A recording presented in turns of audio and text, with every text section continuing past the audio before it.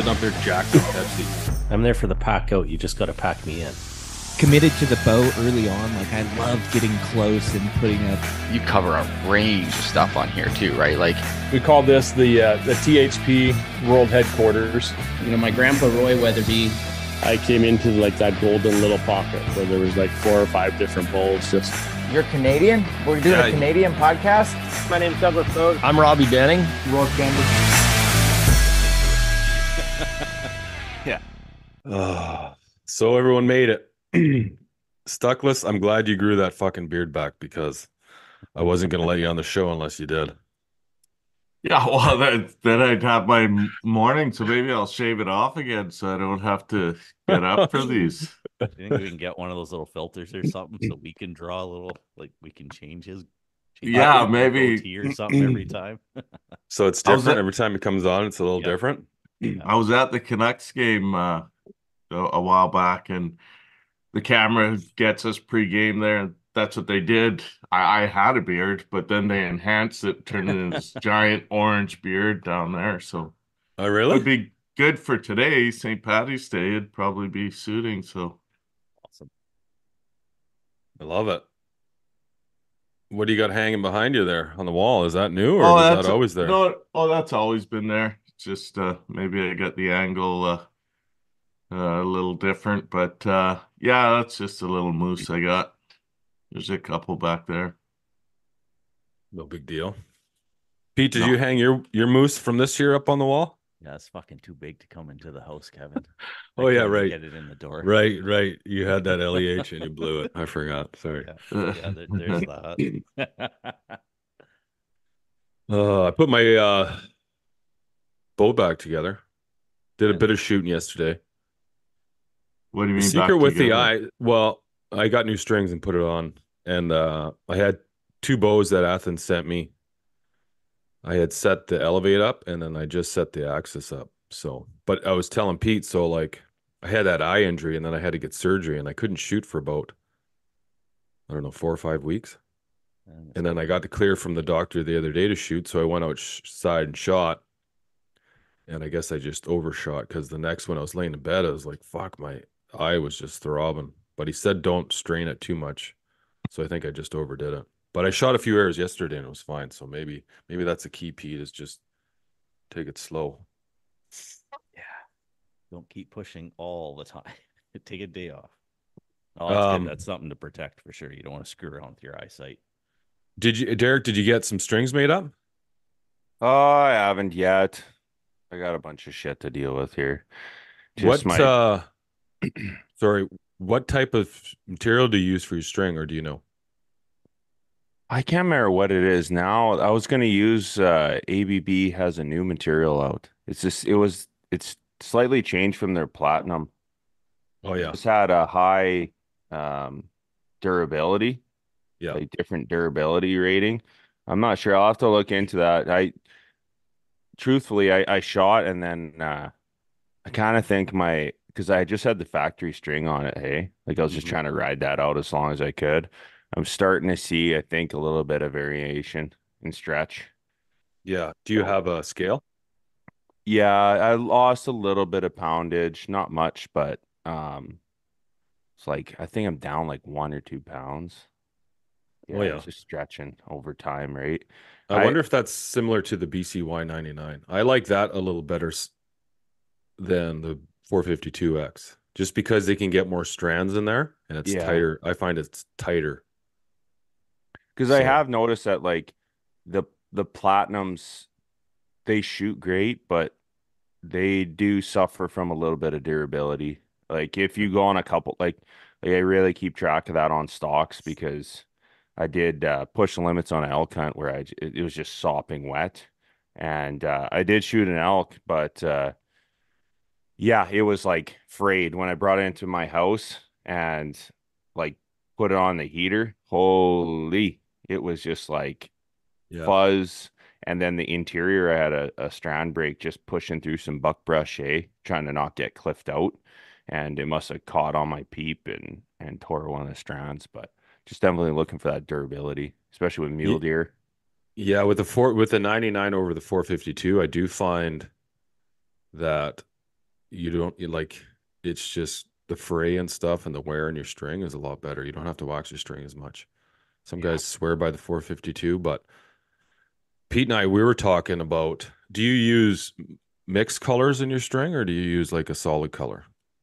I'll usually use like a speckle or a mix. Yeah. Yeah. One thing to, to with mix is like when they when they make those strings, the the dye that they use, the ink that they use in those strings, it makes it a lot thicker. So you Yeah. so you, sometimes you do get uneven um like winding in your string if you Mhm. use colored. So like with the four, I got some 452 made for that Elevate because I'm gonna just do a comparison of the two, the 452 and the 99, and I got black and yellow, mm-hmm. like one solid black, one solid yellow. So I'm gonna be I'm gonna shoot a thousand arrows and then switch them and shoot a thousand just to see what the difference is in like terms of peep twist, like the poundage it it keeps, and then just the wear on the strings. So it'll be interesting to see. But I know like so when you're using a thinner string like the 99, you can get 28 strands in there where you're using I think it was 21 strands on the 452, but if you use a color you you actually get, get even less strands than that.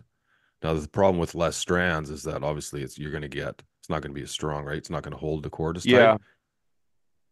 Yeah, and like I've been uh sticking to natural colors again. Like for a while there I was using like lime green and shit Oh, like yeah. that, but now I'm sticking to like black, brown. Yeah, Pete and I were talking about he's going for function over over the look, which I think he should do the opposite. I mean, you should definitely go for the look. See, I every think- edge you can get. See, I, I'm just go- we're gonna put a disclaimer out here. I got two other witnesses right now. Anybody who's listening to this, I'm heading to Kelowna in a couple weeks to join Kevin with the BC Interior um, Sportsman. These other two, these other two guys are going to be there too. awesome. I knew Ashley was gonna be there. I wasn't sure on Derek yet though. Yeah, Awesome. he Stuckless finally. Yeah, I mean, I invited him. I think he's going to come anyway. He'll probably just do like we he did on our whitetail hunt, just like call me and Crash say, my "Oh, truck. So I'm just I'm Wipe just- my truck out. Sorry, I can't Oh. make the show. Don't don't do that, please. No. anyway, Pete doesn't want to be up there get- with me alone." I got to get this. Uh, I got to get this out because I got to keep my eye on Kevin. We're gonna rebuild my bow here, put on new strings, cables, take a look at everything. Karma's a bitch. I'm just saying Karma's a bitch. He's just been accusing me of a lot of stuff at the last couple of years at our 3D shoot that I've been messing with his bow, and now I'm gonna let him tear mine apart. So Oh, let's. Uh, I just, I just want to have a disclaimer right now. If I start shooting four feet to the left or right, he's really fuckered with something. No, I'm gonna I'm gonna set it up so it's gonna be all gravy, but it's gonna have a shelf life, so I'm gonna time it.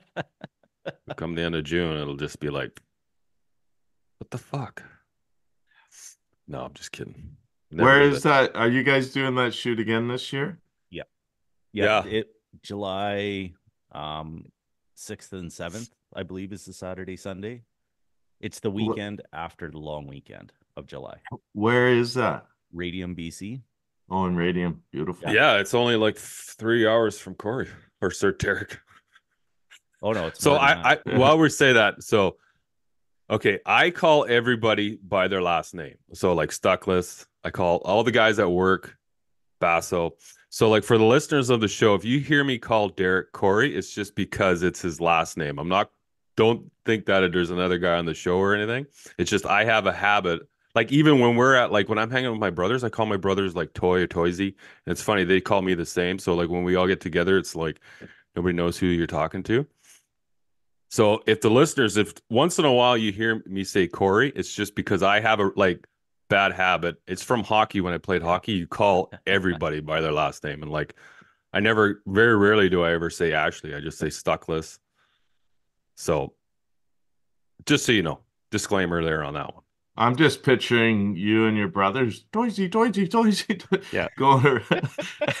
Or like, well, you have to what I, I, am like, oh, you guys are like, uh, you should the- see it. it. It's quite comical, but it's just I Oh, and good like all my buddies growing up, like you know Cosminak or Kiesman or like I use their last name, and like even the guys that work for me, I only call them like I call them Basso or you know Bowman or I always call them by their last name. So Anybody that listen, if you're wondering why once in a while I'll I'll call Derek Corey, it's because his last name is Corey, and I just I just have a habit of calling everyone by their last name.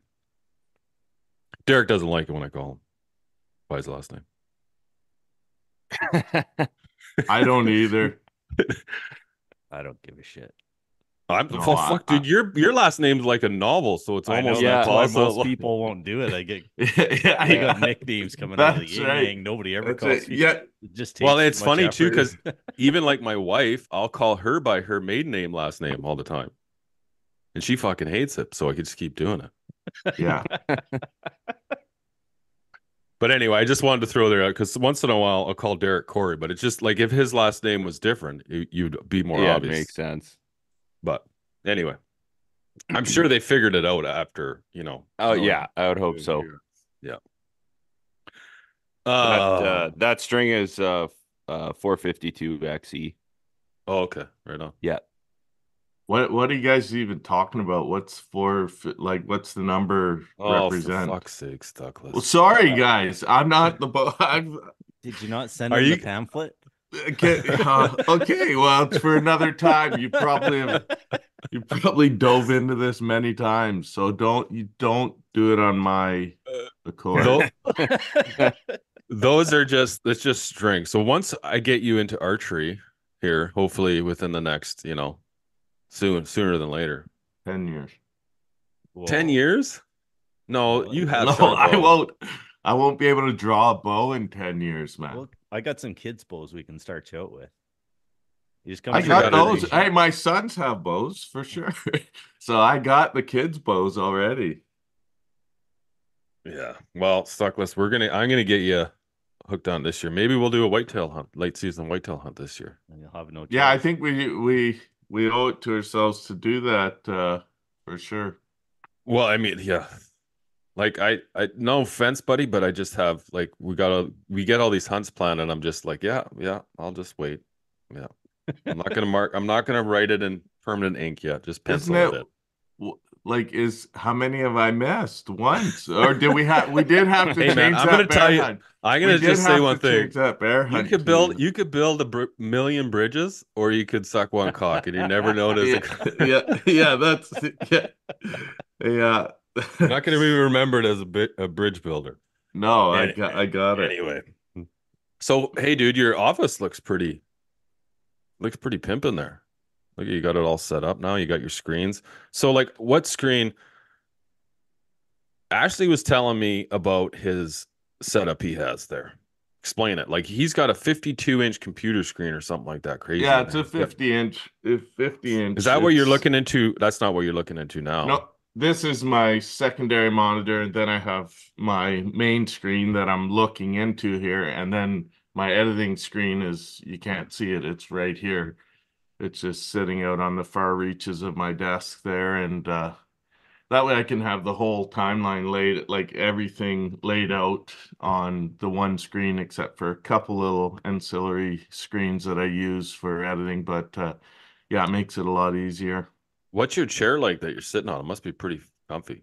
Because when I, every time I talk to you or call you or text you, you're fucking working. It doesn't matter what time of day it is. It could be 4 a.m. Yeah. Like, what are you doing? You you awake? Yeah, I I'm working. I spent a lot of time in here, but that's a funny story. My son, who's uh, you know, he's he likes uh to spend a lot of time on his computer and that too.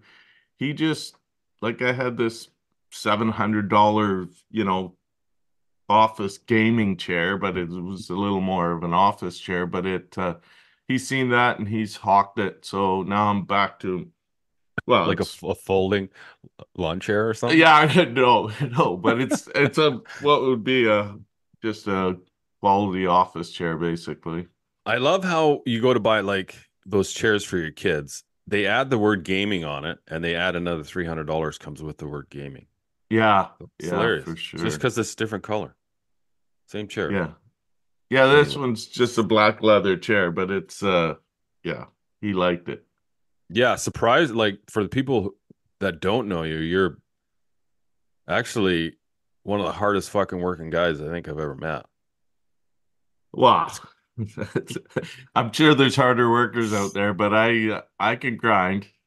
like I is there grind. and it's funny like guys are always like like a lot of people use the term like you're never going to outwork me but that applies to a lot of stuff like you're always working. You're always working like you're always working at work like you own your own business. And then like in between that you have this other business you do which is filming and editing for your TV show. And then you Yeah. also have to like you still have to be a dad and a husband which is like you know. I, I don't know how you do it. that's a lot.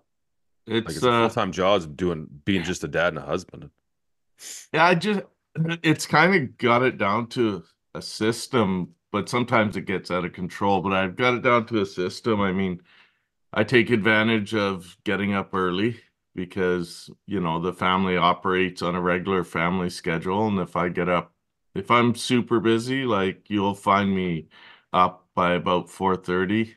Um, and then, you know, it's amazing what I've found especially when I sort of, you know, I have my regular, you know, engineering job. That's, you know, I get two or three 40 hour weeks a year and the rest are 60 hour weeks. So it's pretty busy. Um, ma- that's mainly just 60 hours a week yeah but this is what i'm talking about like you manage a you manage a lot and you do it very well Yeah, And it- it's it.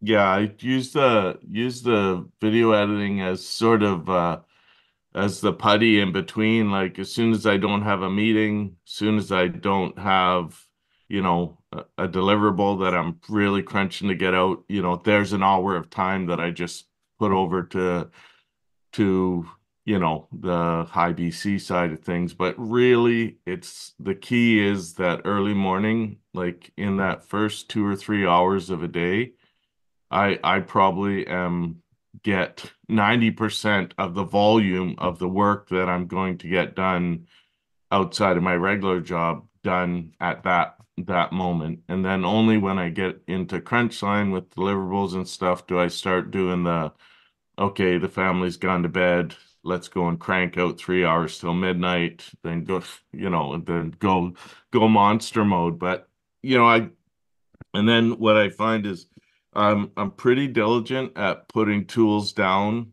Um, you know, between five and six o'clock. Like I'm pretty dedicated to, you know, making sure that, you know, we're doing dinner together and we're doing the family time together, watching a movie together, we're going for soccer together, whatever.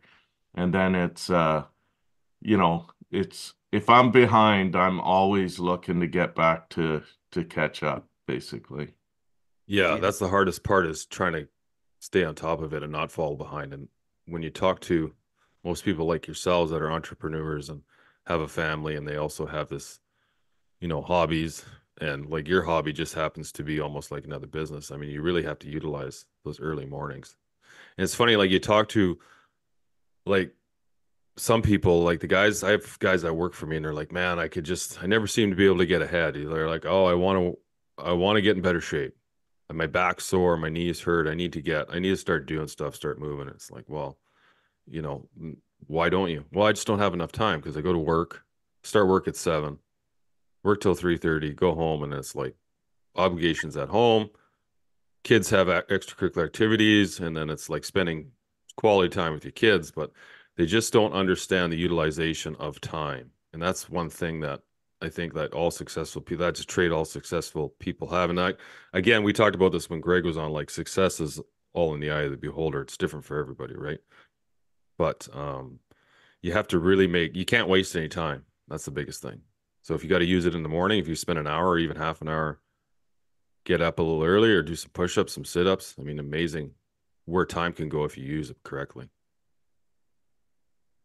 Yeah. find, Ashley, do you find when you're doing your editing and stuff, if you have to, I mean, with how busy you are, like you get, you know, kind of in that groove and you got things going the way you want. And then obviously your other obligations come up, whether it's work, family, and then you come back to it, either whether it's later that day or, you know, the next day or whatever. Do you have a hard time getting back into that groove or do you have your mind pretty focused as to what you're looking for, like when you're editing? You know what I mean? Like you've, you've obviously I- I- some kind of mental picture of what you want but or does it kind of set you back having to take the breaks and then try to get back into that groove for speed for efficiency? I guess. Yeah, yeah, for efficiency. It used to set me back really, really hard. Like it was hard to, because a and I still am. There's so much you're learning, you know, that the learning takes time for sure, and focus and concentration. Once you get the muscle memory down,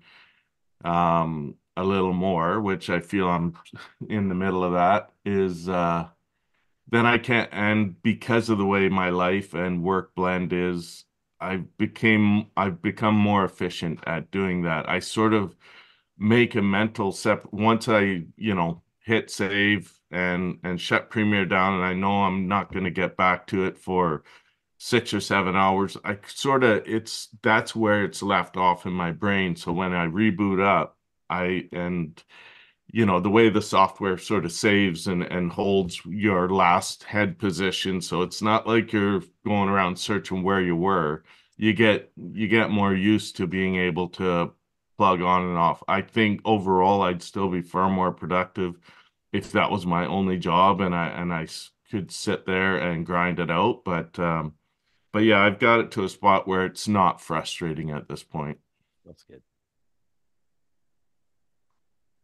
Huh. so you guys want to talk long range stuff? That's why we got you on the show. I mean, to talk long range. You and Derek are like the long range guys. I wanted to hear you guys battle it out on long Battle? range stock. uh Not not battle it out. Just talk about long range. So Derek is going to be doing when he's down here, he's going to be doing this presentation at the where they're so the place that they hold the BC Interior Sportsman Show and all the listeners. I hope you guys can make it. Um, it's a big it's a big facility. It's got two rinks. It's got a bar in there. It's got a gym, bunch of um, other stuff, uh, and it's got two soccer fields. And so basically, they take the two soccer fields out and they host it in there. But off one of the rinks, there's this little. It's it's a fairly big, and they're going to do a big dinner, like a, I think it's a beer and burger night um, from the like just off location of the bar, and you got to buy tickets to it. And Derek is doing a big presentation on long range shooting, and I know we when we were talking on the phone the other day, you got you got into long range shooting, and I'm like, dude, I have no fucking idea. It's kind of like when we were talking about strings. You're like, what the fuck are you guys talking about? And I have no idea. I was like, well, let's get you on the show again, and you and Derek can talk long range and me and Pete could sit here and say, "What the fuck are you guys talking about?" so you're shooting for Fierce now? Is that like legit? That's your That's- go-to brand? that's legit that's Is that uh, custom? Are those custom rifles that they use? No, they're they're not custom guns. Uh, I mean, they do have some options, but I'm I'm using these are factory guns. They're just built to a, a higher tolerance than most factory guns that uh, that are on offer. So I've had a lot of success with them for sure. So Derek, Derek, what was that gun that you had on last time? Was that a custom gun or was that? Yeah, that was a full custom. So that one was a uh, a Maverick Carbon uh, tactical heavy. So uh, the carbon is because it has a carbon fiber barrel. That one's a right hand bolt, uh, left hand feed, all the way up to. Think I think the bolt face can carry up to. I think it is engineered up to 375, but now with pretty much we're limited to 338 with that new uh, bill that came in for max energy. Um, but uh, yeah, it's a heavy duty rifle. That is for sure. It comes in at around, I think, fully loaded, 11 pounds. The carbon uh, barrel cut off a pound. And then I have another one that's a lighter version of that. Uh, so well, I'll go back to the heavy, the heavier one. Uh, fully, so it's a McMillan Kevlar and uh, carbon fiber stock. Um, fully batted, uh, Timney Elite trigger, uh, the Maverick Alberta Tactical Action. They're local guys. They've always supported, uh, you know, shoots and PRS and stuff. So I tried to tried one of one of their actions out. They're always pretty good for me. And then um, Proof Research carbon fi- fiber barrel. and then one of their uh, uh, three port brakes as well. It's a thermal Loctite one. So uh, moving forward, I go to like a, a beveled self timer now.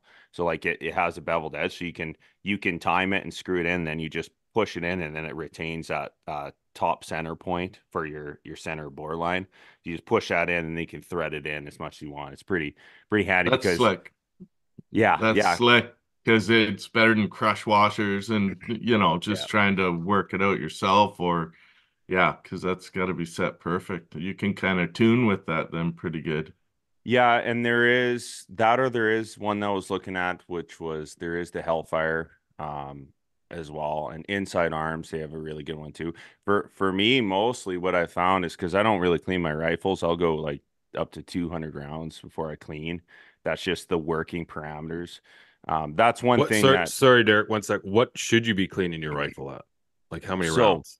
so this is controversial again. Yeah, but- very controversial, but we're Yeah. kind of on the same page.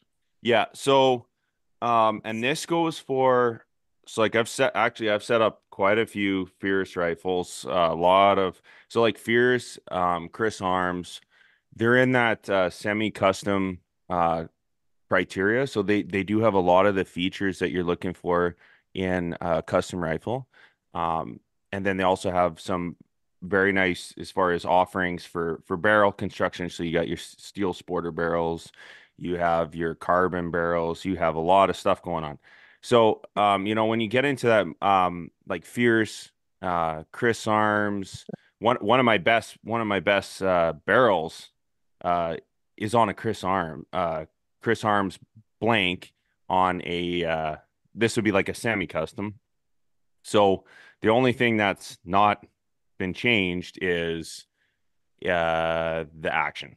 Everything else has been changed. The barrel, that's the one that uh is is probably my most successful rifle hunting. It's a uh it's a tan rifle. It's got uh a McMillan uh, Game Warden stock on it. It's a carbon fiber one. Uh, the action is a blueprinted Remington action. So basically, when they say blueprinted, so essentially I send it off to a gunsmith. They uh, return the depth and uh, shape of the threads. So they'll what they'll do is they'll put in a lathe. They'll square it up on the lathe, and then they'll they'll essentially make sure it's all concentric, and they'll square up their cutter. They'll square off the dimensions of the bolt face interiorly. So then your bolt face is is square and straight, and then they'll take your your lugs, they'll square them up, and then the front of them, uh, front of the the recoil lug, they'll have that squared, and then that Wh- is why is that? Why is that important? well, it's like when I was talking about, um, you know, your shot to shot variations being pretty much reloading. Well, you you can't build anything square or concentric off of a non-square action.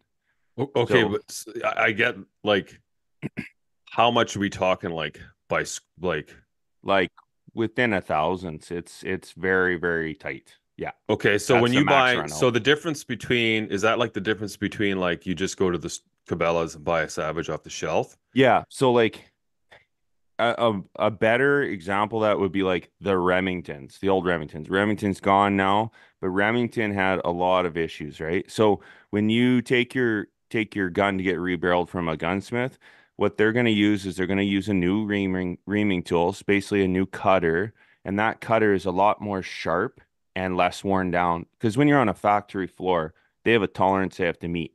So they know how many barrels they can cut in, how many chambers they can run before they switch out that cutter, right? So what's that going to do? Well, there's a tolerance. They're going to go, they're going to run it. The first few are going to be extremely accurate. And depending, and then the back end is going to be extremely sloppy, right? Or very tight. There'll be some some variation of that, right? So then what you end up getting is what's called machine lines inside the chamber. And that's just you'll see like a little, it's almost like a burr. It's very faint. And what that'll do is sometimes that'll grab your cases. Like I had one gun, well, for a while there, it was like every factory Remington that was coming off the floor. Like if you're running high pressure loads, like at near near the max, when I go to extract, like it would it would be bound up so hard you could barely extract brass. So I'd have to on one of them, like I had to I had to put a cleaning rod on the end and then smack it out with a mallet as I'm lifting the bolt. Like that's how tight. So there there are issues with factory barrels. So you know, I'm not saying that they're all junk. Some will be great. The Tikkas are really good. The barrels are typically slow. Um, that's one that's one criticism I have of that is slow. Just, yeah, they tend they tend to uh they tend to shoot slow. They'll they'll hit their pressure at a slower uh velocity for bullet projectile. So like say if you were to verse that versus like a Fierce, a Fierce will typically be a couple feet faster. And oh, I thought so like that I thought it was all just had to do with like your bullet loading, had to do with the speed of the bullet. Uh to a degree. Um it has to do with what type of inter inter uh interface fit like in like how much the the bore interior oh, so that's gotcha. why like button cut barrels and match barrels um so oh like if, if, we're getting like, down the rabbit hole real quick Yeah. okay but like Yeah. so i'm picturing it now from what you said like if you hold say you're holding like a firework in your hand and you don't quite close it all the way it's not going to have as much explosion as it would if you had like zero gaps and like completely confined space right? Is that what you're saying? Yeah. Like, yeah and and two it has to do with like your rifling um so your- like more rifling? Depends on how many grooves depends like there's a lot of factors um i th- so typically so where you would see this is like say if i took peter like a you f- peter you awake out okay i just make sure pete was awake so if say if I like took a fierce rifle and I shot like a 300 win, um, 185 or like a 200 208 or something like that. Okay, I just 208 what what what do you 208 project weight of projectile, 208 Okay. grain projectile. If I were to take Gotcha. that 208 and I shoot in the fierce and I shoot in the Tikka, uh, the fierce will be going a little bit faster. That's just typical. That's just a tendency. It's pretty well known. Doesn't mean they don't shoot. The Tikkas are great. They shoot great. So But- why why is that one shooting? It's just better quality. And Uh, just well, there'll be and well, Fierce will definitely have a higher quality. So depending on the barrels, like so, like Bartlein barrels, they do a button cut, I believe, and so they're able to control with the cutter instead of swaging. So there's two techniques. They know what works.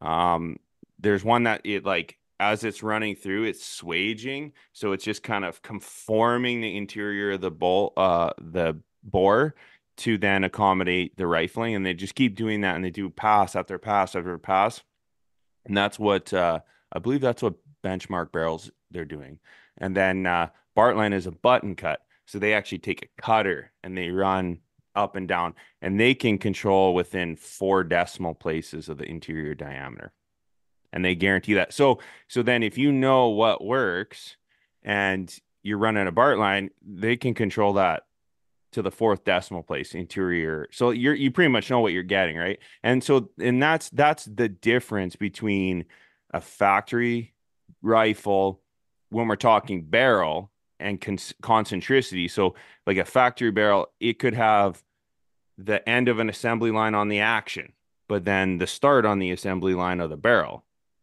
But then or it could be the end of the assembly line on for like their cutter for the action and then the end on the assembly line for the for the cutter and for the barrel chamber so what ends up happening is you'll have all these things compounding that's how you get the lemons right so it's gotten it's just it's and that has to do with bullet and chamber alignment so when you go to shoot um a real tiny group, that's because it's repeatable, right? So if you're launching that projectile and it's hitting the lands at the exact same XY axis inside that bore, it's then going to pitch off and launch and shoot in the exact same position.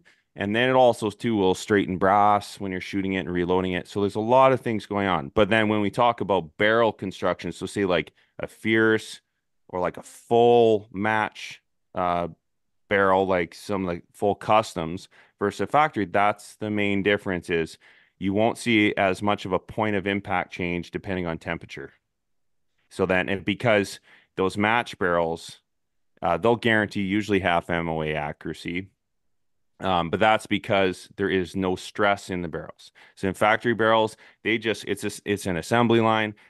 They cut them, they they screw them on, and they send them out the door. And when they do that, when they do that, it is full of stress. And the barrel, that's why some of those, like especially like the Ruger Hawkeyes, used to be not- notorious for that, like the seven MMs, like stuff with huge overbore.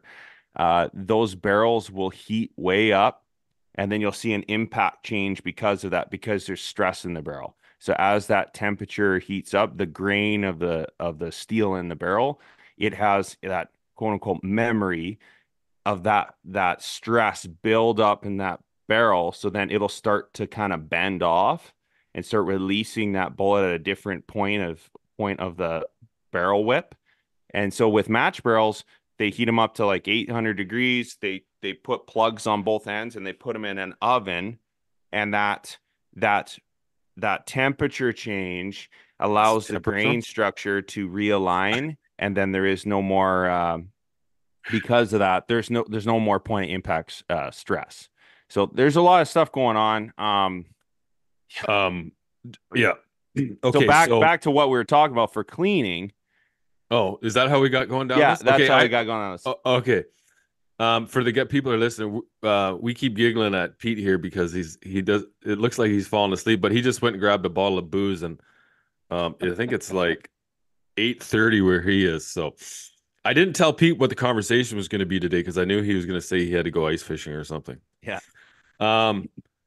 Okay, so temp. So the steel. We'll get back. Okay. Well, let's just give me a give me a rough number on average cleaning so rounds.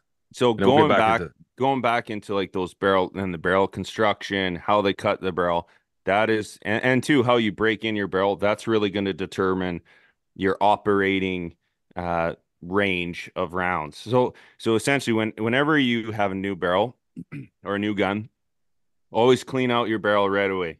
Like before you on- shoot it. yeah always. Oh, always See, I always just shot it all year, didn't clean it, and then shoot it every or clean it at the beginning. So this this is like a brand new gun, brand new gun. You you you went to the store, you you bought a new Fierce rifle, like what Ashley's shooting. Um, you always want to clean them, and the reason is is because depending on if they screwed in that barrel right away, most most factory uh, builders are a little bit better now because they realize that um, guys potentially if you forget, you could cause some debris in your barrel. Yeah, I would I would clean out the inside of the bore, the chamber. Um, I would clean that out pretty thoroughly, pretty good. Biggest thing with clean, and that's just to make sure there's no debris, there's no chips, there's nothing in there that's going to cause. How would you tell if there there was? Like, I mean, I know It's- debris, but like chips and shit. It's peace of mind, like with like Remington and and Savage for sure, for sure. Like I'll see like shit from the factory that they didn't catch. I'll see uh like some grease, oil. Think about if you got oil in there. If it's in longer term storage, if there's oil in there, and a lot of them will do that to protect the barrel. If there's oil in there, Oil. you I'm assuming oil's no good. no, because think about it. You're shooting a high pressure projectile at high speed through a bore with So oil. clean- that's going to so, like- hydraulically affect. That's going to hydraulically impact the inside of that. Oh, so like rusting barrel. your old barrel off with like diesel fluid and like an SOS pad is not recommended. No. well, and you know, for some of those older guns, there's there's different stuff. You know, what I'm talking about uh, in particular is mostly uh, 416R type stainless steel. That's that's pretty much the standard as far as barrel steel that they're using. It's it's uh, pretty resistant to rusting, corrosion. It's not impervious, but it's pretty resistant, and it does have a pretty good lifespan as far as round count, etc. But so when we're cleaning, you get a brand new gun clean that out. Um, and then the next thing I would do is to like, depending on when when you're when you're doing your load workups, um, I would wait until some guns are really bad, but like so what's 200 load workup? Dude, So, I'm like- a fucking dummy when it comes to rifle. You got to break this all down to me. So, okay, so I'll backtrack and then I'll come back to that Okay, But- we're still we're still trying to get the past cleaning. We're still past cleaning. So we're still trying. Yeah. Yeah, initially, so so initially when you get your gun, you clean your bore out really well, and then and then you you start working up your uh, your break in period. Some guys don't believe in break in. Um, I believe in break in, but only to, and this is again depending on what your objective is. I'm I'm I'm trying to create an environment where when I'm breaking in, I have cleaned out any copper fouling on the lands in order to facilitate additional wear by the projectile to smooth out any inconsistencies of the bore at a slightly faster rate to get into my um, peak performance range of round count. So what that means is initially you have a lot of inconsistencies at the start of the barrel life. It it tends to pick up a little bit of speed. Sometimes some of them wear down and there's a little bit less. But essentially what you're trying to do is just like wear down the inside of the wear down the Yeah. inside of the barrel. Yeah. Yeah. So if you don't clean it, will it wear down the inside of your barrel more often? Yep. Uh no, it'll Can less. you over clean it less? Oh yeah, yeah, less, yeah. Because because right, because then you have copper fouling. So every time you're and I don't get into projectiles with with coatings. I I, I What, don't what do you mean coatings? like some guys will want to coat it with moly. Some will want uh like you know the like coat the whole casing the just the bullet, bullet? the projectile that that has died off, and that's I think probably a good thing because you get um some of these coatings are just there aren't solvents for them. Um, typically you got to use Like to clean it after. Yeah, yeah, yeah. So I don't like them. Um, I What- what's the what's the ben- what was the theory and the benefit of having that on there? they thought it was consistency of like friction. Um, but I haven't I haven't seen I have personally I haven't seen that. And two, it's what kind of makes you feel good, right? Like for what projectiles you use. But anyway, so once we're past the break-in period, we're getting into our, our How many? Our- okay, okay, okay. what is the break-in period? it depends on the barrel. Oh. It really does. It depends on the barrel. Okay, Um, so like a really good barrel would have less break-in time than a real shitty barrel, or is it the Yep. opposite? Yep. Yeah. So What about barrel, those car? What about those carbon barrels? Uh, I've so all my personal guns have carbons, all of them. So They're what? they're they're really, um. what the sorry, fuck is a carbon barrel? First of all, So, um, essentially, a carbon barrel is it's a normal match barrel, um, that they've put on a lathe and they've ran down the interior of the. So basically, they'll leave they'll leave the shank portion. So that's that's a portion where they they chamber the round, they push the reamer in, they chamber it because we need that um, that strength built up off the action, right? For for that case to be suspended in there. So then we're not like obviously for for safety reasons. Um, you know, whether it's 2.25 on, off the end of the shank uh, and then it starts tapering and depending on if it's usually all the carbons are like Sendero type uh um contour. Um, so they're beefy looking barrels. But so they put that blank on a lathe and then they they essentially cut it down the diameter in order to facilitate the reduction in weight.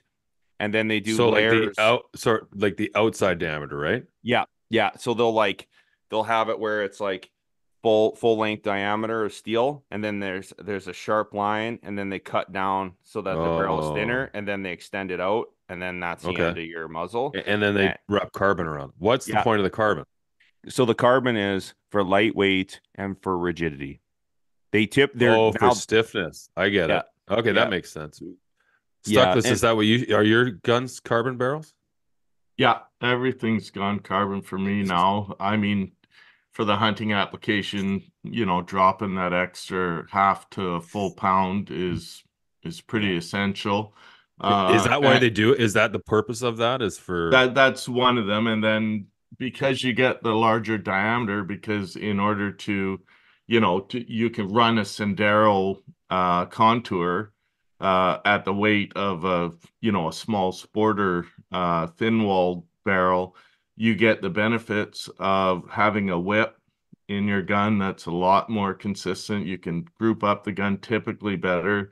Typically, that that extra rigidity of having you know a barrel that's about that big around as opposed to you know that big around tapered out. It's uh, it makes a big difference. and uh, I've had good success uh, with both my fierce guns and uh, and with the Christensen Arms that was uh, um, uh, carbon fiber barrel. So when you say whip, is that what you were talking about last time, Corey? Is like the the Yeah. consistency in there's a- that whip? So, and it, we can even bring it back to what Corey was talking about about having, you know, everything squared up. So when that bullet, that projectile takes the jump, it's not touching the barrel. If it's not square, it has a rough jump. So when it goes into that barrel, it actually puts extra harmonics or whip. So this isn't a whip that you see with your naked eye, but imagine the violence of of pushing something, you know, three thousand feet per second in a matter of of uh, you know a couple milliseconds through a tube. It, it's very violent and it creates a whip.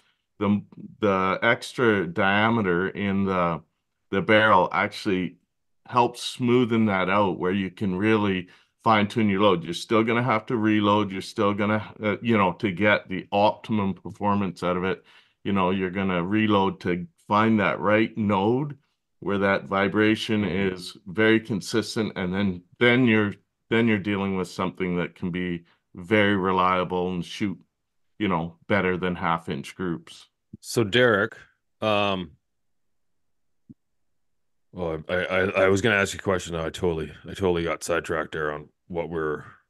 It was like uh, um You were talking about last time he was, he was talking about a wave or something. yeah it was actually before that, but that makes sense. So Derek, because Derek before he was explaining like the whip and then just the consistency of that when the barrel, like when the bullet leaves the barrel. Now Derek Yeah. does that.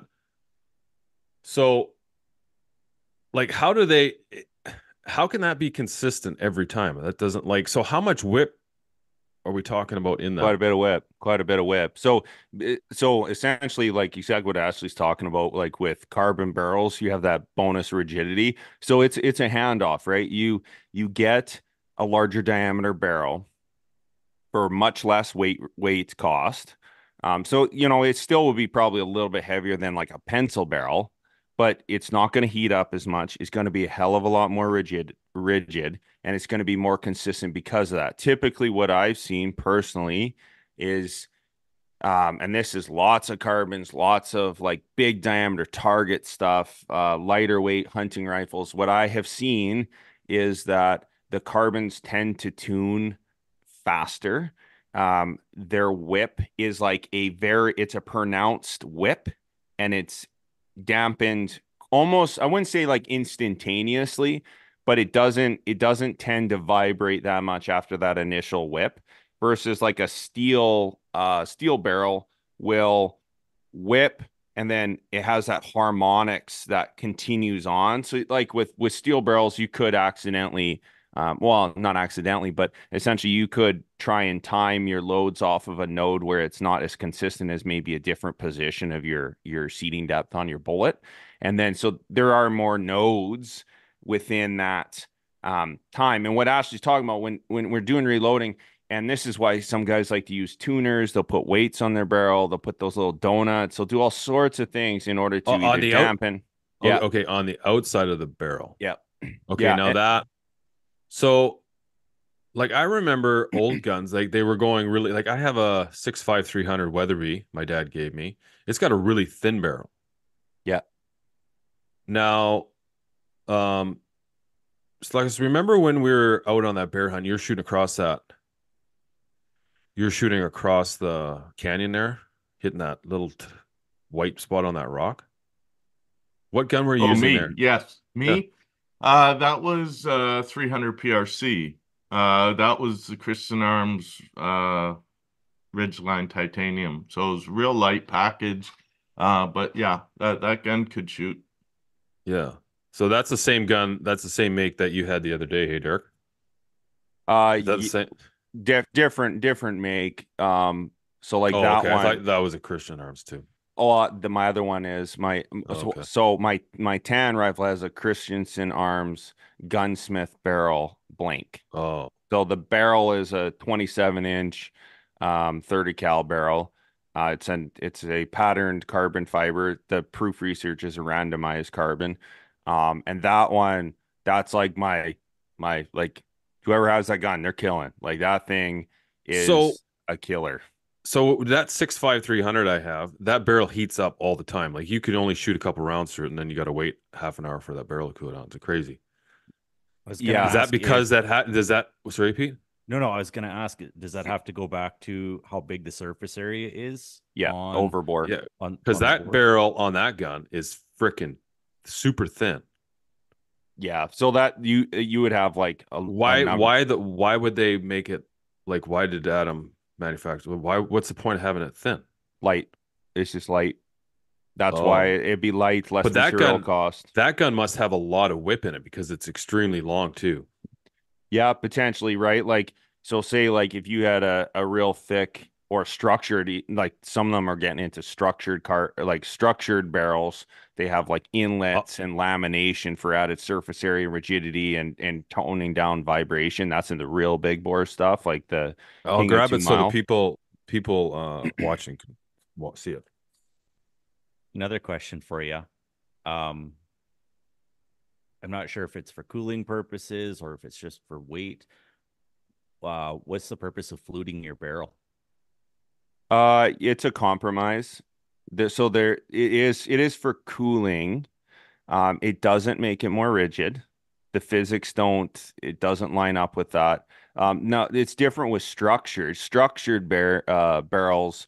Like where there's laminations, there's inletting. That's cooling and more for for toning down vibration. But if we're just talking standard fluting, uh, that's that's just to decrease the weight overall and with a little bit of additional cooling because you have additional surface area, right? But Yeah, it like- doesn't make it more rigid. See this thing? It's tiny. Like see the size of the barrel? Yeah. Is that barrel fluted too? We just talked. Yeah, about it Yeah. is. Yeah. And It has a little sup- uh suppressor or uh muzzle, muzzle thing with the- Muzzle, muzzle brake. brake. You screw on the end of that. Oh yeah. Mhm. So I never really yeah. It- This thing is heavy as hell. Yeah. I always found heavier guns were easier to shoot, older to, you know, obviously more weight to hold up, but it always felt like crosshairs would settle down and stay settled. Um, Yeah. Whenever I shot them versus like those super light ones they have, like I'd be overcompensating all the time, you know, like, oh, too high, too low Yeah. if you're shooting. But anytime I picked up a heavier rifle, they just, I don't know, they just settled Yeah. right in. And My dad, like the theory my dad said, like my the old timer was, well, not just him, but my uncle's is like the heavier the gun, the less kick, and that was really the only purpose of the heavier gun.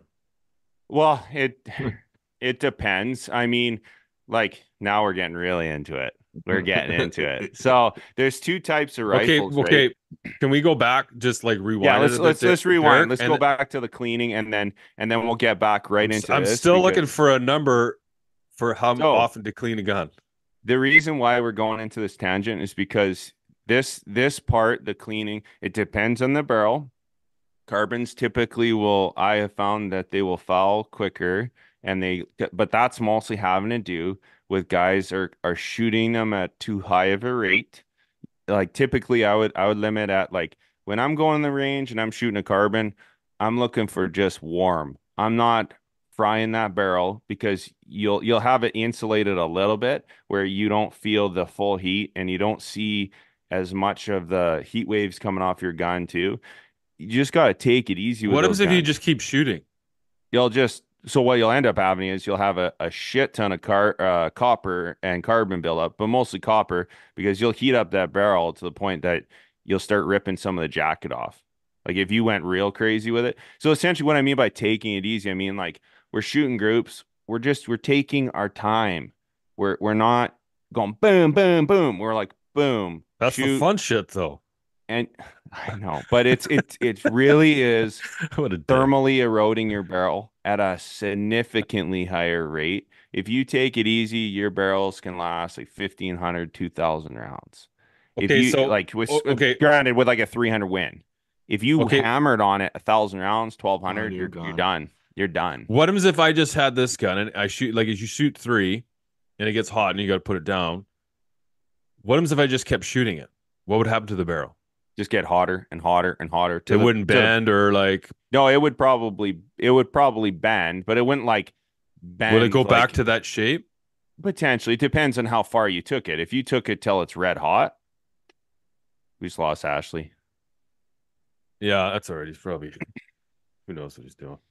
Um. Anyway, Essentially, what ends up happening is is like like I was talking about before. Factory barrels tend to have built up um, grain stress in the barrel. So then you'll initially you'll like shoot four or five, and then you'll see it start the point of impact shift from. So those will have like two zeros. You'd have your cold clean bore, your cold foul bore, and then your hot fouled, and you're running in your hot range. So your hot, you might impact higher to the right or or Okay. left, and Will- right because you're will it wreck your stress. barrel? Will It can.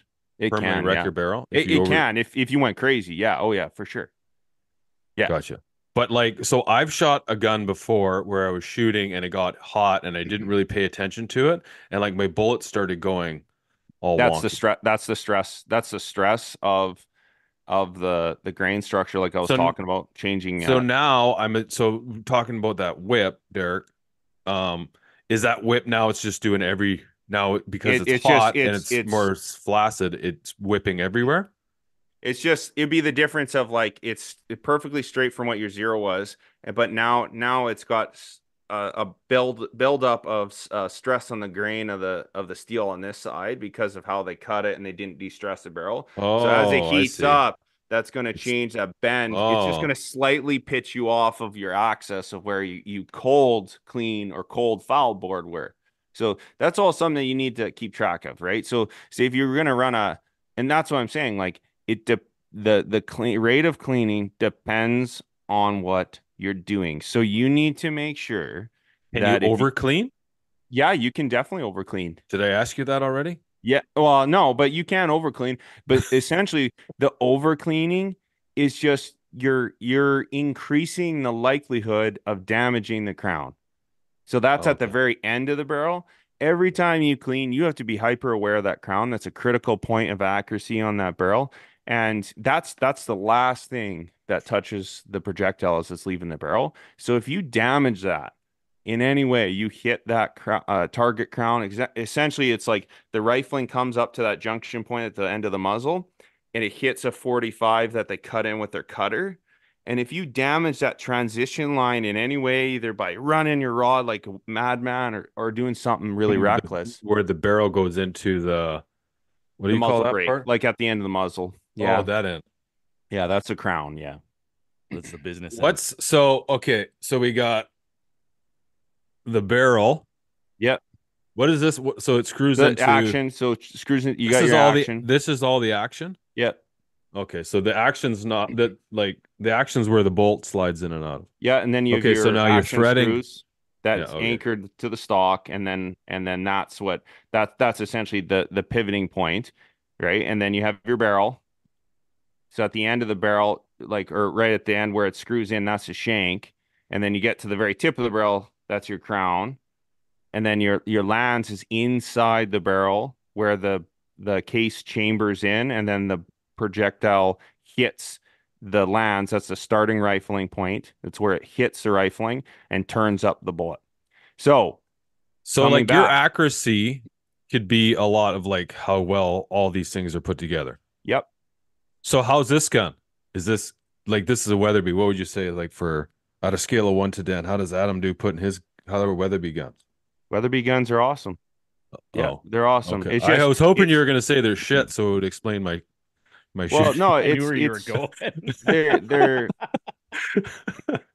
they're they're like like when we're talking about factory guns, you get what you pay for, right? Like they can only put so much technology, so much effort, so much tolerance and and testing into their guns in order to pump them out at a price where where the average guy is is is uh, gonna buy them. But you know, with the match guns, you're getting a more guaranteed process. Nothing's guaranteed. Like they may have like a half MOA accuracy, but that may that doesn't mean a quarter inch. That means half inch. So there is some combinations where you can game it, where you can reload into a node and, and get some real insane uh, performance. But you know, with factory factory guns, and like we were talking about barrel construction, if you have a thinner barrel, you may need to clean more often because you're going to have more uh, more overheating, more deposits of copper. So what about bullets? bullet. Is that- man, does bullets, that- yeah, bullets are bullets. So are does another- that? Oh no, I know, but like, does like, is there better quality bullets? Like, would that Yeah. change the consistency of how often you're cleaning your gun? Uh, again, it depends on. This is like the longest fucking like cleaning ever. clean. Like, Yeah. all I want to know. Is Yeah, so it's funny that he asked that because again, typically I've noticed like monolithic core barrel uh bullets tend to foul barrels uh More. quite a bit more, and that'd be crap they're like leaving behind. I get it. yeah, that'd be Yeah. like Barnes. Well, it's not just the crap; it's because it internally stretches slightly, and then I've I've noticed that Oh, the bullet stretches. yeah, a little Okay, bit, Whoa, yeah, hold on a second. a little here. bit. Okay, let's, let's go back even a little bit farther here. Did you say monolithic bullet? Yeah, The fuck is that? So that'd be like uh like a Barnes Barnes bullet that's all Okay. one um metal. Um and if they're like depending on the metallurgy of the of the bullets, I I like to stick to just copper.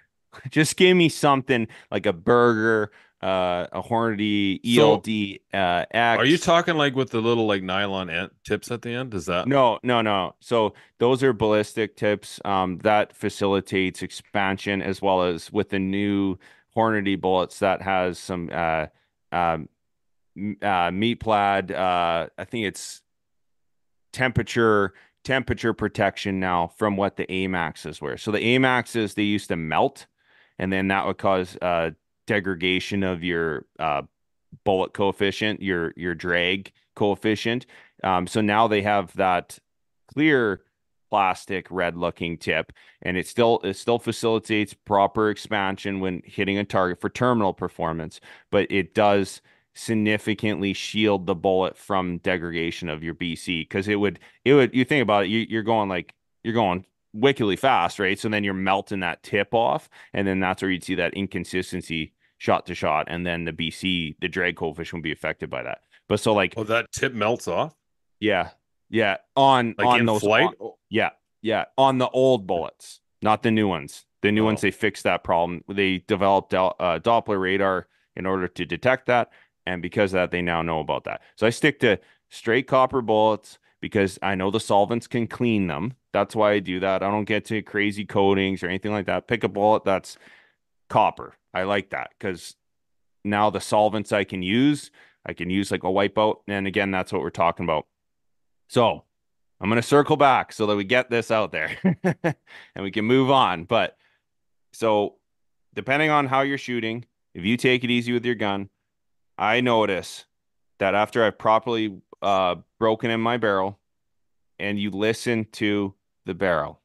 So what that means is, is I'll shoot a group. I'll have like a dot, a dot, a dot, a dot, a dot when I go to the range. I'm always tracking my cold, clean bore shot. I'll always like put in the top left hand side. I'll shoot one. That's my cold, clean bore, and I'll I'll put that target on a piece of cardboard so I can take it off, and I bring it to and from with me a couple of sessions to the range so that I'm tracking my point of impact, and then I'll I'll shoot, and then I'll shoot a group, like three. Then I'll let it Okay, cool so, down. so sorry, Derek. Um, when you so your cold bore shot, you just shoot it once. Cold, clean bore. I'll shoot it once because Oh, okay. I want to track cold, that. clean, cold clean bore or cold Yeah. bore.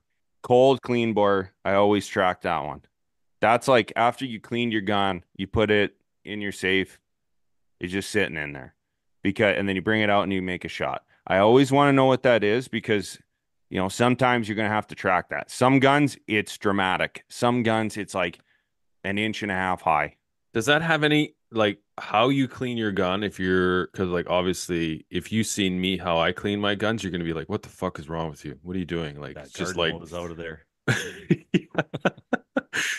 yeah. So, um, does that affect how you clean? Like how you clean if you're cleaning it like how you yeah properly should, which I don't do. Is that going to affect that Yeah. shot? And is it going to affect all your shots after that? Yeah, so it depends on if you're bringing it straight down to the to the bearing surface or if you're partially cleaning, right? And there's no way to really know unless you got a borescope in there, uh, which fortunately I do have a borescope. Um, I can check. Okay, what's that. a bore scope? Just an endoscopic uh, basically articulated lens where you can go in there, you can adjust the end, but you can have Holy a 45. dude. you just stick it down your bore, and it must mostly for like the lands, eh? Or if you're seeing erosion, you'll be able to spot that. Where to say like, oh my god, we're getting into it again here. There's Douglas, another do you do you do all this? So like, you you are you following what this guy's yeah. talking about? Completely. eh? hundred percent, a hundred 'Cause- percent. Yeah, th- this is the money. This, this is good stuff. See, the difference is you've had five years or however long uh focus hunting's been on the air to nerd out on your bow, and we're putting the rifle thing all in one episode. So it's it's like a huge dump here. Uh, Well, I feel like and it's and it's really good information. I can tell you this right now there'd be a lot of people uh, listening to this that if they are rifle shooters and if they are paying attention to precision shooting, um, they're they're going to be loving every word Derek's saying. Oh yeah, no, really, Derek- for Derek's real. the man when it comes to this stuff. So Yeah. that's one thing I'm guys get it? interested. Oh, go ahead. Go ahead. I was gonna say, like the long range shooting is that's what fascinates me because it's a discipline. It's the same with like archery and everything else. Like there's an extreme discipline that goes into number one, understanding how all this shit works because understanding your equipment and using it properly makes all the difference in the world. Like you could like I if you don't understand, it's like shooting your bow. If you don't understand how it goes together, you're really not going to be as good as you could be. You have to Yeah, understand how it all goes it's go together. Because there's like a lot of stuff, like even like when you get into like bearings of axles and and cams and stuff like that, you get into that. That's going to affect your shot, right? And like if there's so many components to it, but I mean, I feel like there's a little bit more on. Well, there is more on the rifle side because there's just a lot more moving parts it seems like than there is on a bow. there's a lot of equipment requirements, right? There's certain standards that you have to adhere to just because there's we're dealing with machining, right?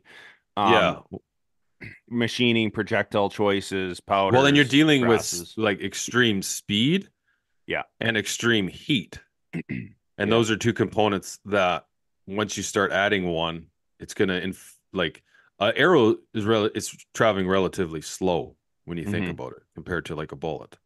yeah. And so there's a lot that that can happen to that bullet between and it- we're talking like a long way. Like that you guys are shooting a long way. Like when you were shooting across the canyon, that was a long way. I was like, you're going to hit that fucking thing over there? Like I couldn't even barely see it. And you're like, yeah, I'm going to hit it. And you hit it and it's like it blew me away. I was like, fuck, that's a long way. And then Derek was talking about shooting was 1700 meters or something like that. Yeah, so like the farthest I've shot, and that's just because of limitations, is about 2000, and then 1700, uh, 1750 with my 300 win. Yeah. Yeah. That's a long fucking way, man. That's two kilometers. Yeah, I've uh, I haven't quite stretched out that far. I, I think I've been uh, working with uh, Murray at Clark Precision down here in the Lower Mainland, and uh, and we're going to start uh, stretching out to those limits. Uh, I've swapped over to uh, Zeiss scopes, and uh, I was coming off the Swaro system, and just the way their turret design is, it it really it doesn't have the adjustability that's required. Like I've shot everything from Night Force to, but you know the the top end Vortex offerings for long range, and I I've always been a big MOA dial up guy, and uh, and I just basically nosedived when I got into the Swaro. Glass perfect, you know the mechanics of the scope, yeah, they they they're reliable. It tracks reliably, but uh, you know, with the seven PRC, I could um the max range I could dial for was like 640. So I was I was Mhm. pretty pretty frustrated with that bottleneck. Not that I want to shoot animals at that distance, but I like to train out to a thousand yards on steel so that if I do have to take, you know, quite often if we're above tree line that it's it's not uncommon to have to make a 400 yard poke. And and I want that to feel you know you know like like it's it's an everyday occurrence. Um I I'd like to get closer. I have a couple drivers a you know ethically I want to be as close as possible when I'm hunting but uh, B I also want to capture the best film I can capture uh, which equals getting a little closer as well. But as far as training and knowing my gear, it's yeah, I like to stretch out. So I've shot out to 11, 1200 yards uh, successfully, including with that very same uh, Weatherby you were waving around there earlier. Uh, Oh, I the shot the- six five three hundred.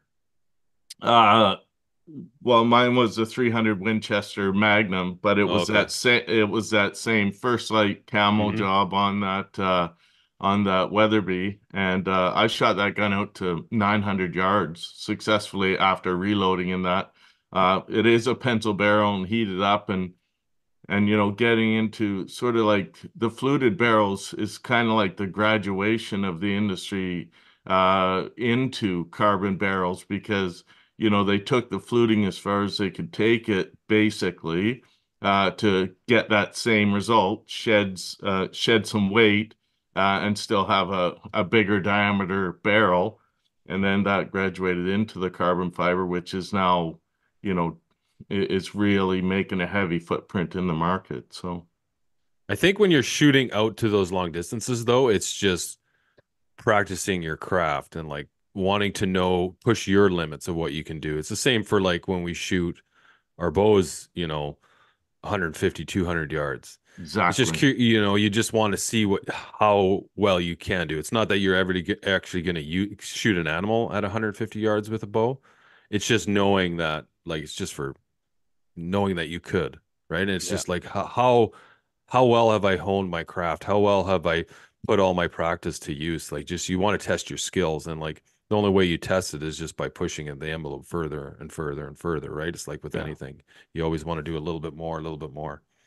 I think it's important differentiator though to when we're talking about this into the in the hunting community to talk about the difference of what we do for practice and what we're actually going to do ethically for hunting. Because you know I I think even in my younger years when you know long range hunting sort of hit the scene I was like oh great. I you know I'm going to go and get um you know, uh, an MOA rifle, and I'm going to shoot elk at a thousand yards. Well, when you really get into it, that's that's just not a real good idea. It can be done, no question, but it you need absolutely perfect conditions.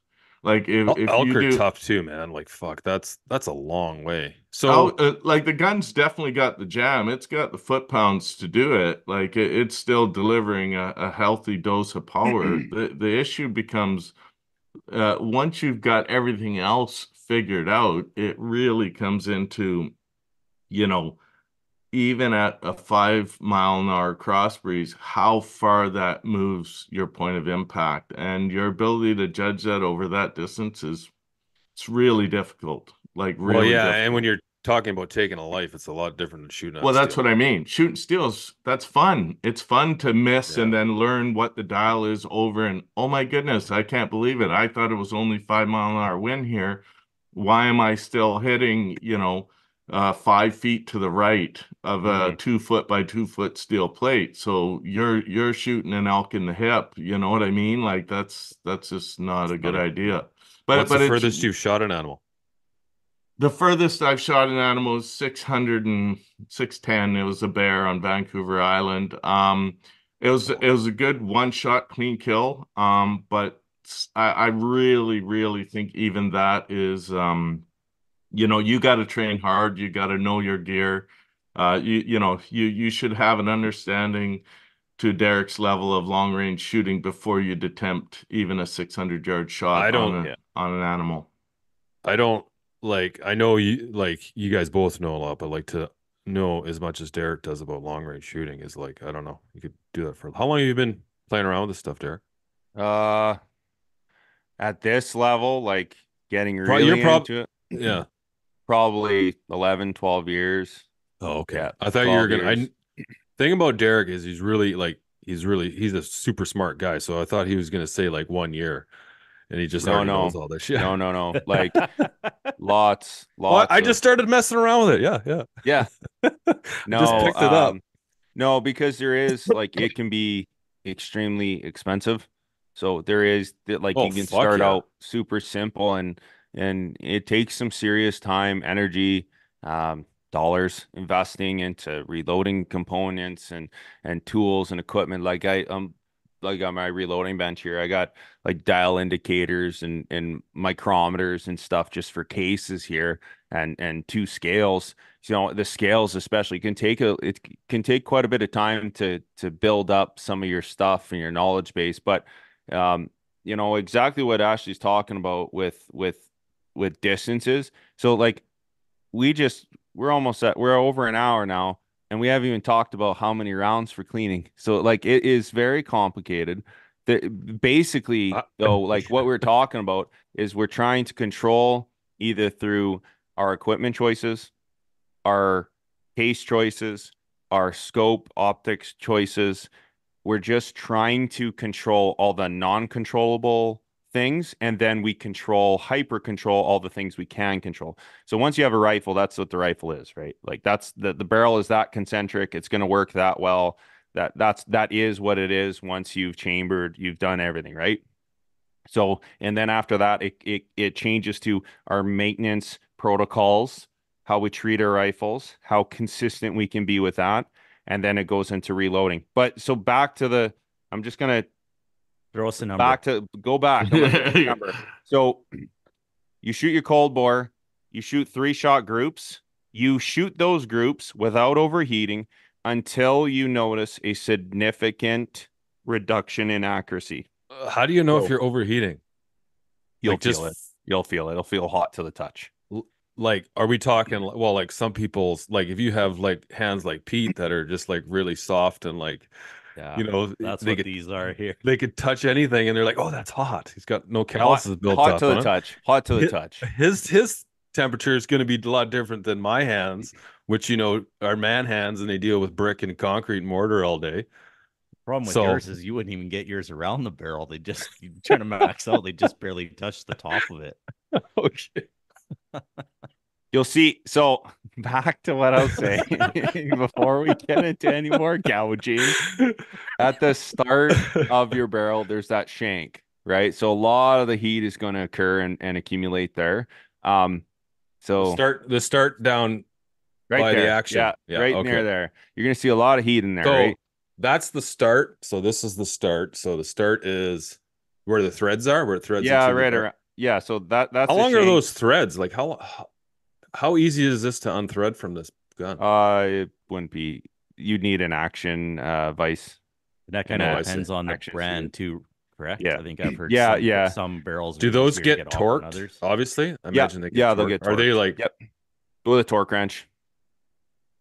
crazy It Okay, depends on the specifications of like the the material too. So like if it, uh, titanium would be different than steel, so you definitely want to check that with your manufacturer. I feel like for all this long range stuff, what we need to do is like get Derek to like come up with like uh, a spreadsheet and then like we'll have to like just work through all these things over like a certain amount of time. hmm Cause like I feel like even for right now, I feel like I'm just asking you all these dummy questions and we're getting pulled all over the map. Oh, if it's it all right. Like it's all right. I don't It's know if that feels you- like the feels once like you get into it like else. that, it's that's that's how it is, right? You, and then as soon as you unravel all these layers of complexity, you start realizing, oh, really? I'm not really controlling that many things. That's the average guy. Usually is like, oh, yeah, I guess I haven't really you you know standardized my cleaning procedure. Oh, yeah, I guess I'm taking my rifle out in a different state every time I go to the range. Yeah. Yeah. Well, You and know, like hey, like this- what's the- happening at the the the higher end of the round count? I think what Right? I'd like to go over with you guys over time, like on personal calls with with both of you, um, is more before I start working on the gun because I'm I'm sorry, you could hand me one of your guns and I'm not going to be able to shoot it the same way that you shoot it. And I think I'd like to talk to you guys about what I can do breathing wise, like different techniques. you're just pulling the stuff like trigger that. trigger, Pete. How hard is it? Oh no, Oh fuck! When you got guns this big, I don't know. okay. It's it's but you know what I mean. I, yeah, I would fundamentals honestly of like- marksmanship. Yep. and that's where I would personally like to start. I mean, I I still try to go as much as I can with archery, um, where I am venturing into this year in September. If I can't pull it off in archery season, there are a lot of longer shots, there's a lot of slides and stuff like that. And I'm not talking a lot of obstructions. It's literally like I got to get from point A to point B. I can see you clear as day, but Mhm. there's a distance there. I still wouldn't be shooting. I still wouldn't want to shoot over 500 yards, and I'm talking with lots of practice and stuff. I would still Dude, want dude what did you shoot that under. whitetail at? How much far was that? Which shot? He No, knew what I was getting to, didn't he? Yeah. But I have shot in the past, like before I got heavy into the archery. Um, I got a buddy of mine who is he's like you guys, like you start talking to him and it's it's like speaking another language. And you know, we did lots of practicing at four or five hundred yards, and the grouping was really well. But I've forgotten more than what he's taught me in that time period because of just my focus. I've forgotten everything on- Derek's already said. Wow, Oh uh, my yeah. God. But just knowing Fuck. knowing the areas that we're going into. I mean, we got some massive cut blocks up in those areas. We've got, you know, slides that are across creeks and stuff like that. For you guys, you guys would be sitting there like, this is gravy. This is cake. Like, that's an easy shot per se, if you can shoot those distances. So it's a matter of, you know, I'll cross the freaking creek if I have to just to get that shot off. I'm not going to take a long shot just those the sh- sake of it. those shots, Pete, are they can be more tricky than you you'd think. Like just like if you're shooting valley to valley, those shots, it's more about like um practicing shooting position and then tracking that uh positional shooting on paper. That's one thing that like so like a loose tripod can make you kick to the left Oh, yeah. or like you know depending on how you're gonna and that that goes into an, a whole nother thing as far as like you know what bipods we're using. If you're using that bipod i would definitely test out what you're using in the field to see if it has some sort of weird i had a chris uh, chris arms gun that um, we were doing some reloads for and they wanted to use this really long harris bipod. And for whatever reason it just was bottomed out and they didn't fully realize that there was a little bit of slop. And because of that it was shooting five inch groups. Oh, wow. So, So- does like when you're shooting across so Stuckless, remember you shot across that valley? Yeah. Is that have any different influence on that bullet than if you're shooting over land? Because now you're dealing with a lot of distance between where the bullet is flying and the bottom of the ground. Like I'm just wondering, like, is that any does that have so any very little, but in extreme long range uh situations, if you've got thermals that are really heavily running, yeah, maybe a minor uh difference for sure. I mean, wherever whatever direction the air is moving, it is applying that force to your bullet. Okay, Now, but it what, doesn't like what what makes that, a big difference in in that shot particularly that although it was across a valley, it was still about a 15 degree down angle at that, and we were sitting, I forget what it was, 650 yards, whatever ended up being there. Um, you know that angle mattered more than the valley you know not ha- having earth below you having earth way below you wasn't really the factor but uh that even that 15 degree angle once you like pretty much anything inside of 500 yards you know a lot of the conditions unless they're really bad super strong wind sure that's going to matter a lot but you really what you know everything we talked about here today really starts to become doubly important you know from 500 to 1000 yards. That's when you know all of these little nitpick details if they are not considered and managed yeah you, you're just not going to get to stretch out like that.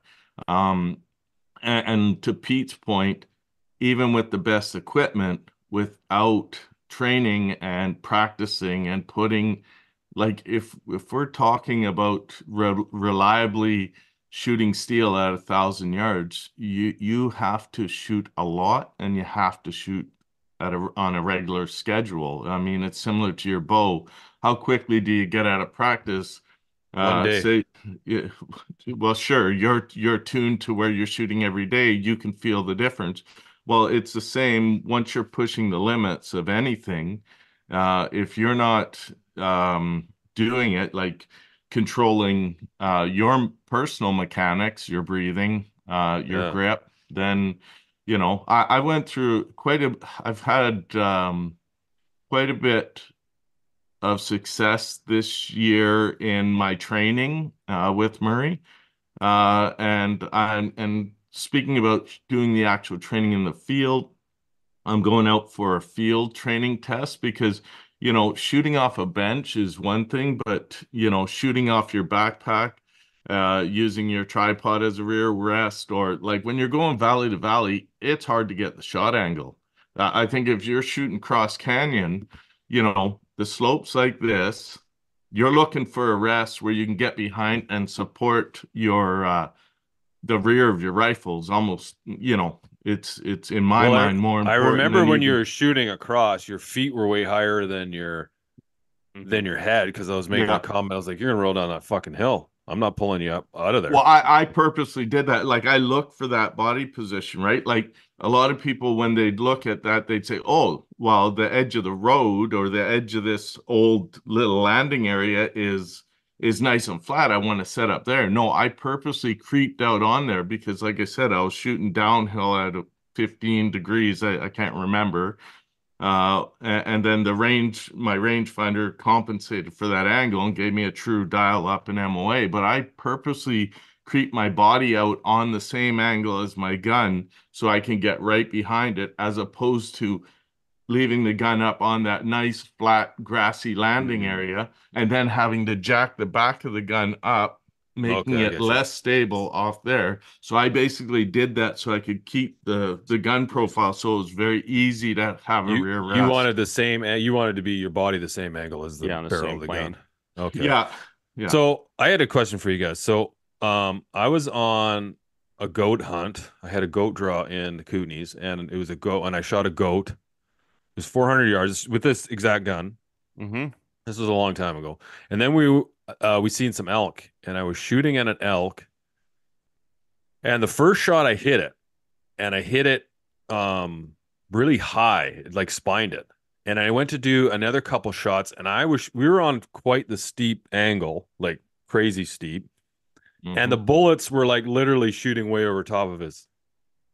I couldn't get a fix on. I I ended up having to go down down to where he was and shoot him again because I couldn't hit him again the second time. I couldn't hit him again because my bullets kept going way over top of him. yeah like and I was in- putting my crosshairs like the second time I shot, I was like, oh fuck, I just pulled a Pete. I just missed. And then the third time, like I realized that it just kept they were just going way over top of him. Is that because of the angle? yeah Or shooting toe support.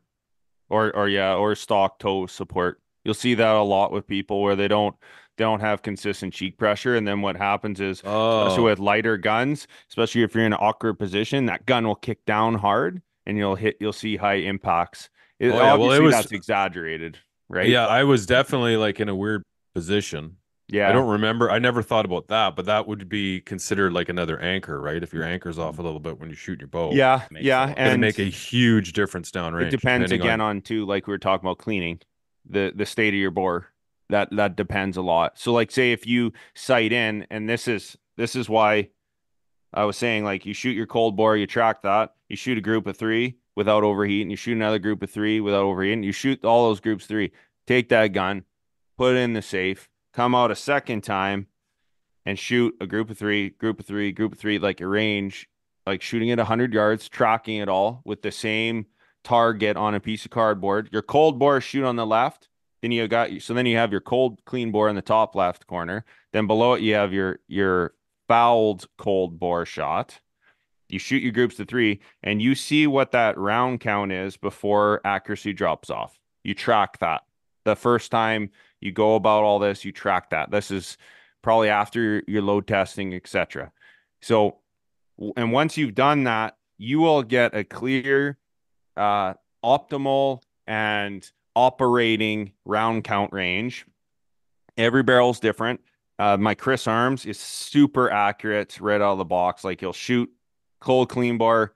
That that barrel is just like bang on. It's within the group, so it doesn't matter when I use that thing. It's gonna that first shot is a little bit faster though. It's about 10, 10 feet faster. So I've chronographed that too. So chronographing my shots. I know everything that's going on.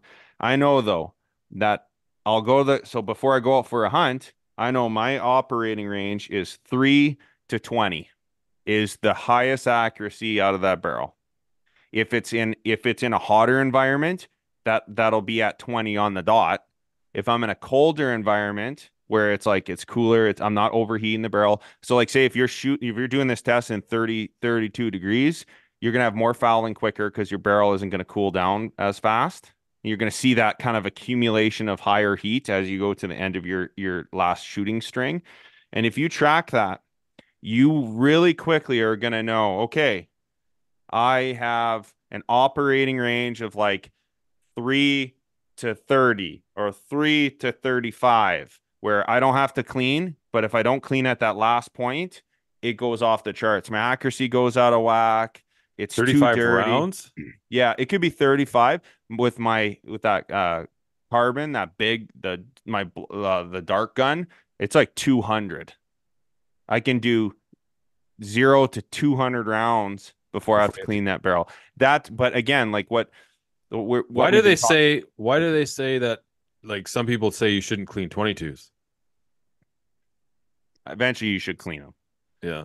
I know like the guys that Plinker and stuff, they're like these guns, some of the guns, once you get them mucked up a little bit, they start you get better. Some some well, they're saying that too because like as you thermally, and this is what we're talking about, thermally erode your barrel. So what this so what this is called in big bores, it's a lot more pronounced than with with like 22s and stuff, right? Oh, is- so is- this essentially what you're controlling is called your copper fouling equilibrium. So basically, that is you have those first couple shots, this huge increase in copper on the bo- uh, bearing surface of the of the rifling, like the the grooves and and and and all your rifling. Uh, you know i i that bearing surface is getting a little coat of copper. Essentially, at the start, it's this huge increase, and then it's really stable and it Mhm. kind of and it, it's gradually it's increasing but because you're firing around down after it it's just smaller because that bullet contains a lot of the pressure in the room inside that bore so then it kind of wipes it off at the same time but eventually you'll have it kind of accumulating up some barrels are worse than others and you'll have it slowly come up and then you'll see this big spike of of pressure because now there's so much copper in there it's actually kind of inhibiting accuracy and consistency because it's starting to cause like an inconsistent bearing surface inside the bore. And so that, but that's depending on a lot of things. It's depending on uh, what point is the lifespan of the rifle. Some of like the big 338, uh, like tactical stuff that I've shot, like some are in like 3,000 round range, three, 4,000 rounds. And like you have to shoot them fouled you have thermally eroded that first part of the rifling so badly you need that smoothed out to the point that like you need a lot of copper buildup in there in order to build up that bore so that it's it's a tighter. And that's that's when i talk about like barrel burnout. You know that means a lot for different people. Like if you have a quarter minute gun and then now it's a half minute well it's, it's probably still good. But it's just whether or not the pressure and the feet per second is still consistent enough to track. So that's like so when we're when we're cleaning, we're going through our cleaning procedures, we're just keeping track of data. We know what's going on. That's that's essentially with some of these sporter barrels, it could be 10 rounds, it could be 15 rounds, and then it goes to accuracy goes to shit. With one of my cousin's guns, is uh, he had a um, a Mesa Chris Arms Mesa, five shots, and it was like big big group and then five shots and it's accurate out to 30 rounds. And then he's then his accuracy opens up again and then he's because it's too foul to be consistent. And then say like you know my dad's got a, a a winchester model 70 that gun is super accurate up until 15 to 20 rounds and then it has this insane recoil impulse where it becomes very hard recoiling. So obviously there's some friction dynamic changing inside the bore because again the barrel construction Oh. isn't 416R barrel steel it's grabbing that and two it's it's more susceptible to overheating as well and carbon buildup 15 In- rounds. That's yeah kind of annoying. So like how many rounds? So basically every time you take it to the range, you got to clean it to a, after. to a degree, but that means so like say if I'm in a hunting environment, and then we're talking real real big accuracy, right? Like we're we're like really good groups, like that that Winchester, like I got that thing shooting for my dad at 300 yards, just shooting under an inch. So like that, like we're talking serious accuracy that's trackable. And you know, so so definitely like Pete's talking about your fundamentals of marksmanship definitely, definitely have to be uh, you know, they have to be solid. You can't be having any weird consistencies. So that's why we shoot the the three packs because if you start getting to fives, that's that's more of a judgment and and and and uh, determining of like your your accuracy, your your fundamentals of marksmanship. Three shots, you if you have like good predictable three shot, three shot, three shot, and then you throw one, okay, well, right, three shot, three shot, it's good, it's good. If you do five, that's a lot. That has a lot to do with the the shooter, right? Mhm. So that's why I say doing packs of threes because then you're not gonna. For me, it's it's also having to do with I'm shooting primarily carbon barrels, so I don't want to be pushing the temperatures, right? So, but what you'll see is as long as you don't push the temperatures, you'll have a good operating range. And like I was saying before, that means that when I go out hunting, I know that okay, I go to the range, I clean my bore, I clean my barrel real good. Okay, I clean my chamber. Chamber really matters too, making sure there isn't a bunch of slop and shit in there because that'll reduce the amount of space for your cartridge and that'll cause weird friction points if you have cleaner in there. Not good. Not good. So, and then I shoot. Okay, I know that I take take my gun to the range. I put three shots down range. My gun is now good to go. I tape off the barrel with electrical tape. I'm good to go. That that now I know. Okay, this the bore is completely into its accuracy um, section. It's workable, usable operating range of. Tw- I got 20 rounds where I can hunt with, and as long as you don't push the gun into extreme um, high humidity or high moisture, you're good to just leave it as is. What do you mean I'll- push the gun into high? So like say if? I'm if I'm like if I'm in a real like humid climate like on a coastal and it's very like corrosive environment, you're probably gonna want to clean every time because So you'll like 'cause- where Ashley is, he lives on the coast with all the salt water. You must have to clean your gun quite a bit. just more. just just more if I'm but like I live here, but I actually uh you know do most of my hunting in the interior. You know what I mean? And up north, But just but for that- shooting though. Well, what, what's, does that affect storage as well? Well, yeah, sure. If you're in a humid environment, for sure. I mean, I have a a humidity controller in my safe there behind me and what have you, but still, it's uh, yeah. I I mean, What is that say- thing? What is the humidity controller? Like a little It's just a little electric unit there that uh shit, that eh? keep burns the moisture out of the air. Um, but it- No wonder I couldn't hit fucking anything with a rifle. But definitely uh, you know Fucking humidity nice. if you're if you're doing a lot of uh, hunting in the rain and stuff for sure. Like i'm i'm will clean and baby my rifle a little more than that. I'm not much of a of a of a bore cleaning guy. Like i and i think what it's come down to in this whole conversation is just like everything, if you want to do it well, there's not a passive way to do it. There's not a recipe book. Okay, clean your gun every 30 rounds, whatever gun you have on the planet. That's what I was hoping no, for, but apparently no, not. No, nothing's passive like that. It's just like you're you guys are training just with your gonna- po- The whole reason I wanted to talk about it was I was you guys are just going to tell me how to shoot better. Not that I, I even shoot a rifle anymore, but never know with my eye. That's one thing like I was kind of scared about. And I was talking to Peter. I was like, because I had my eye, my eye wasn't getting any better. Pete's like every couple days, like your eye get any better? I'm like, no. He's like, and I was like, no. And it went for the longest time where it was like, I was looking underwater for like three weeks, and I was like, fuck, man, maybe.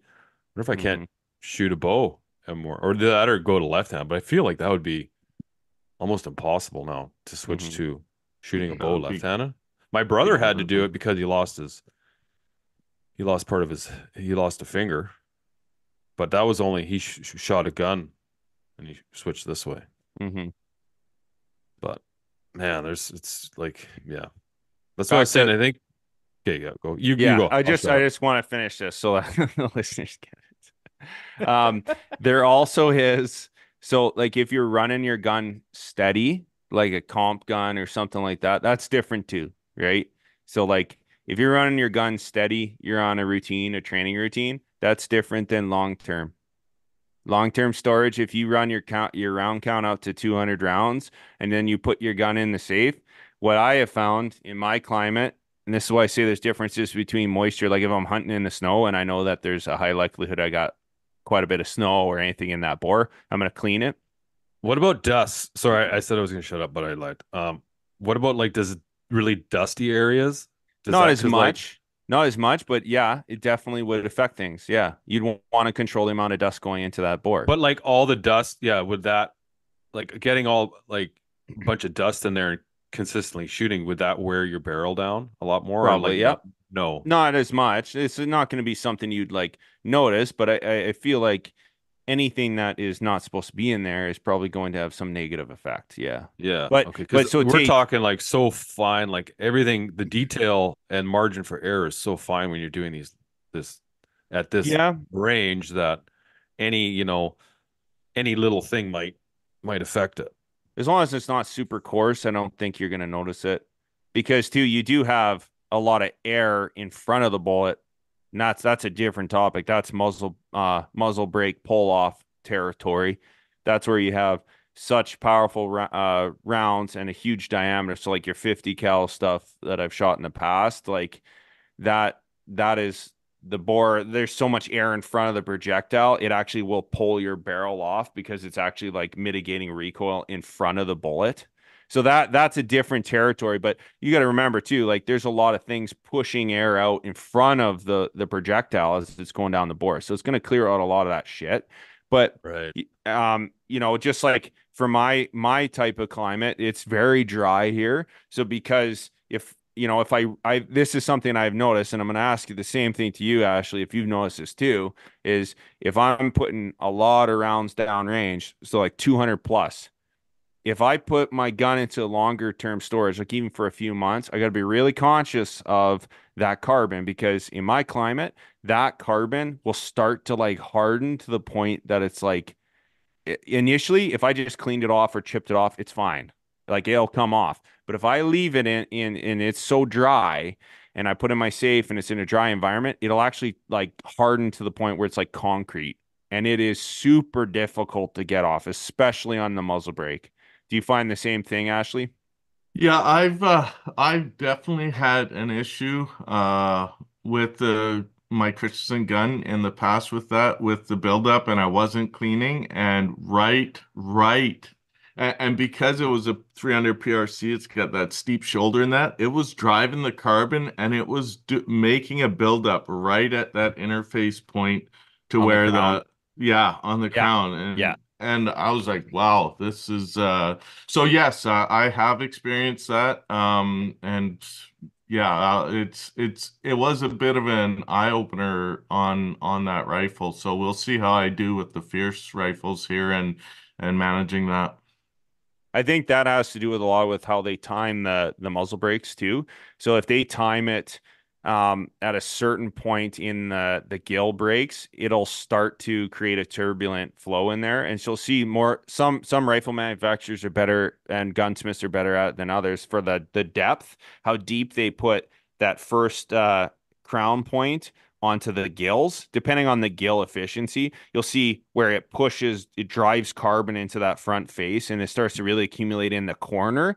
And that, like, so say if they didn't have the depth correct, they didn't go deep enough, like put the the muzzle brake deep enough on the on the actual barrel itself that first explosion of gas coming out the side will hit a corner on the gill brake and it'll cause a turbulent flow and then it just drives deposition of the copper into or the the carbon into there um Yeah, it, was slightly. Uh, I ha I did experience that too, but the specifically, um, and I had never experienced this before. Uh, uh, was because of the steep angle of the shoulder on the PRCs and uh, right at the interface, right down towards the lands, like right at the jump point. Oh, yeah. there, Okay, there was so actually talking- a carbon buildup there. you're you're Uh, so you're talking in the actual chamber itself Yeah, in the chamber. oh in the sure. chamber yeah Ju- just from and I hadn't experienced that before and it sort of it was the first time I sort of had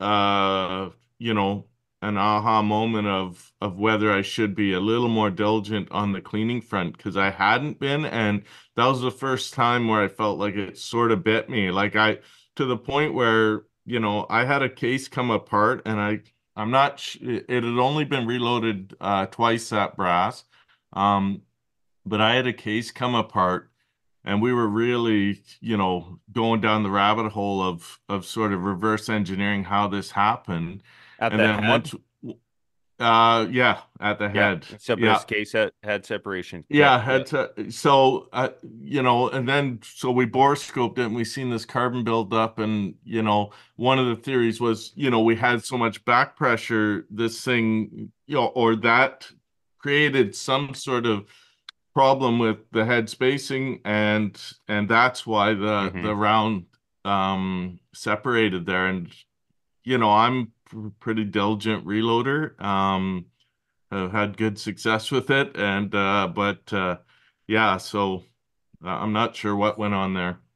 But the, Yeah. but that was one of the factors that you know a more experienced shooter than me said hey you know sometimes with these PRCs we're getting this happening where we're getting carbon built up right in the chamber there. And uh and it definitely and i definitely did have a you know a very noticeable ridge line of carbon built up Yeah, you'll you'll see that in like the 28 Noslers, especially too. You'll see a uh, like a, a real carbon dark ring that, that's right at the lines. Um, yeah, it's just how it's how the sh the shoulders pushing, and and it too. It depends on how much uh, free neck space there is. So if your necks can like if they chamber in where they have more neck space, like neck length, you'll Yeah. see sometimes an accumulation of that because you're not you're not close to that point. So then that carbon's able to drive into that little corner again and then it'll build up and then that'll push your datum like where your your your case is like crunched into there and then when it shoots it has nowhere to go so then it overpressures and then the back end you'll see that Yeah. in belt belted magnums as well where like if there's any type of uh, tension in the front end of the case it'll it'll blow the brass out and then if it gets stuck um, all that pressure has to go somewhere. So then it, it Yeah. kind of reverberates back to the back of the case and then creates this like little donut ring in the back. And the if, bright the bright donut yeah yeah, and if you cut it down in half, you'll see like even with like or a paper clip, you can come in there. I come in with a paper clip sometimes and I'll feel in there. and you can And- hook that edge Yeah, yeah, yeah yeah. for sure my father-in-law is a gunsmith and he he taught me i use a dental pick actually yeah. which is I was getting so paranoid about one. I just like I had this gun that the datum line was way out in the shoulder, so push it out like five thousandths, and it was just blowing the brass out. And I would cut it in half. I I cut it in half, put in a vice cut in half, and I'm like, oh yeah, there's definitely a donut ring. But anyway, back to the cleaning. Basically, you just got to listen to the gun. Um, you know, for if you're shooting continuously, 200 rounds. I'm using wipeout. I haven't used uh, an abrasive brush in in my guns for years now. Um, it's like a foaming agent. I I put that shit in there, and then I check the uh check the crown. If I if you just look in the crown, you look with a flashlight. If you see copper streaks, that means you haven't gotten all the copper out. Because typically the highest accumulation of copper deposition is on the crown and in the lands. You can't really see in the lands unless you get a borescope. So I use the the crown as my indicator for how much copper deposition. You just do passes, and then anything you go out. If you're running on like a jig, I un- I know it's a pain in the ass, but that's why I don't clean as much. Is I unscrew it before I pull the rod in. I'm just super paranoid about damaging the crown. Um, Doing something right. yeah, That's how I do it. I just I didn't look at it as I didn't even think about damaging the crown. I looked at it as if I pull that back through, anything that that brush is pulling backwards is pulling it into my action. Is the way Yeah. I was just looking at it mechanically. I didn't know if I was doing it right or not, but I was like, well, if I push it out, it's out of the gun. Yeah, out. Everything must in. go out. So like any of the gun manufacturers, like Lilja and all those, is like any anything when they talk about barrel issues, it's usually because someone is either using a really high abrasive or they're just they're pulling things in.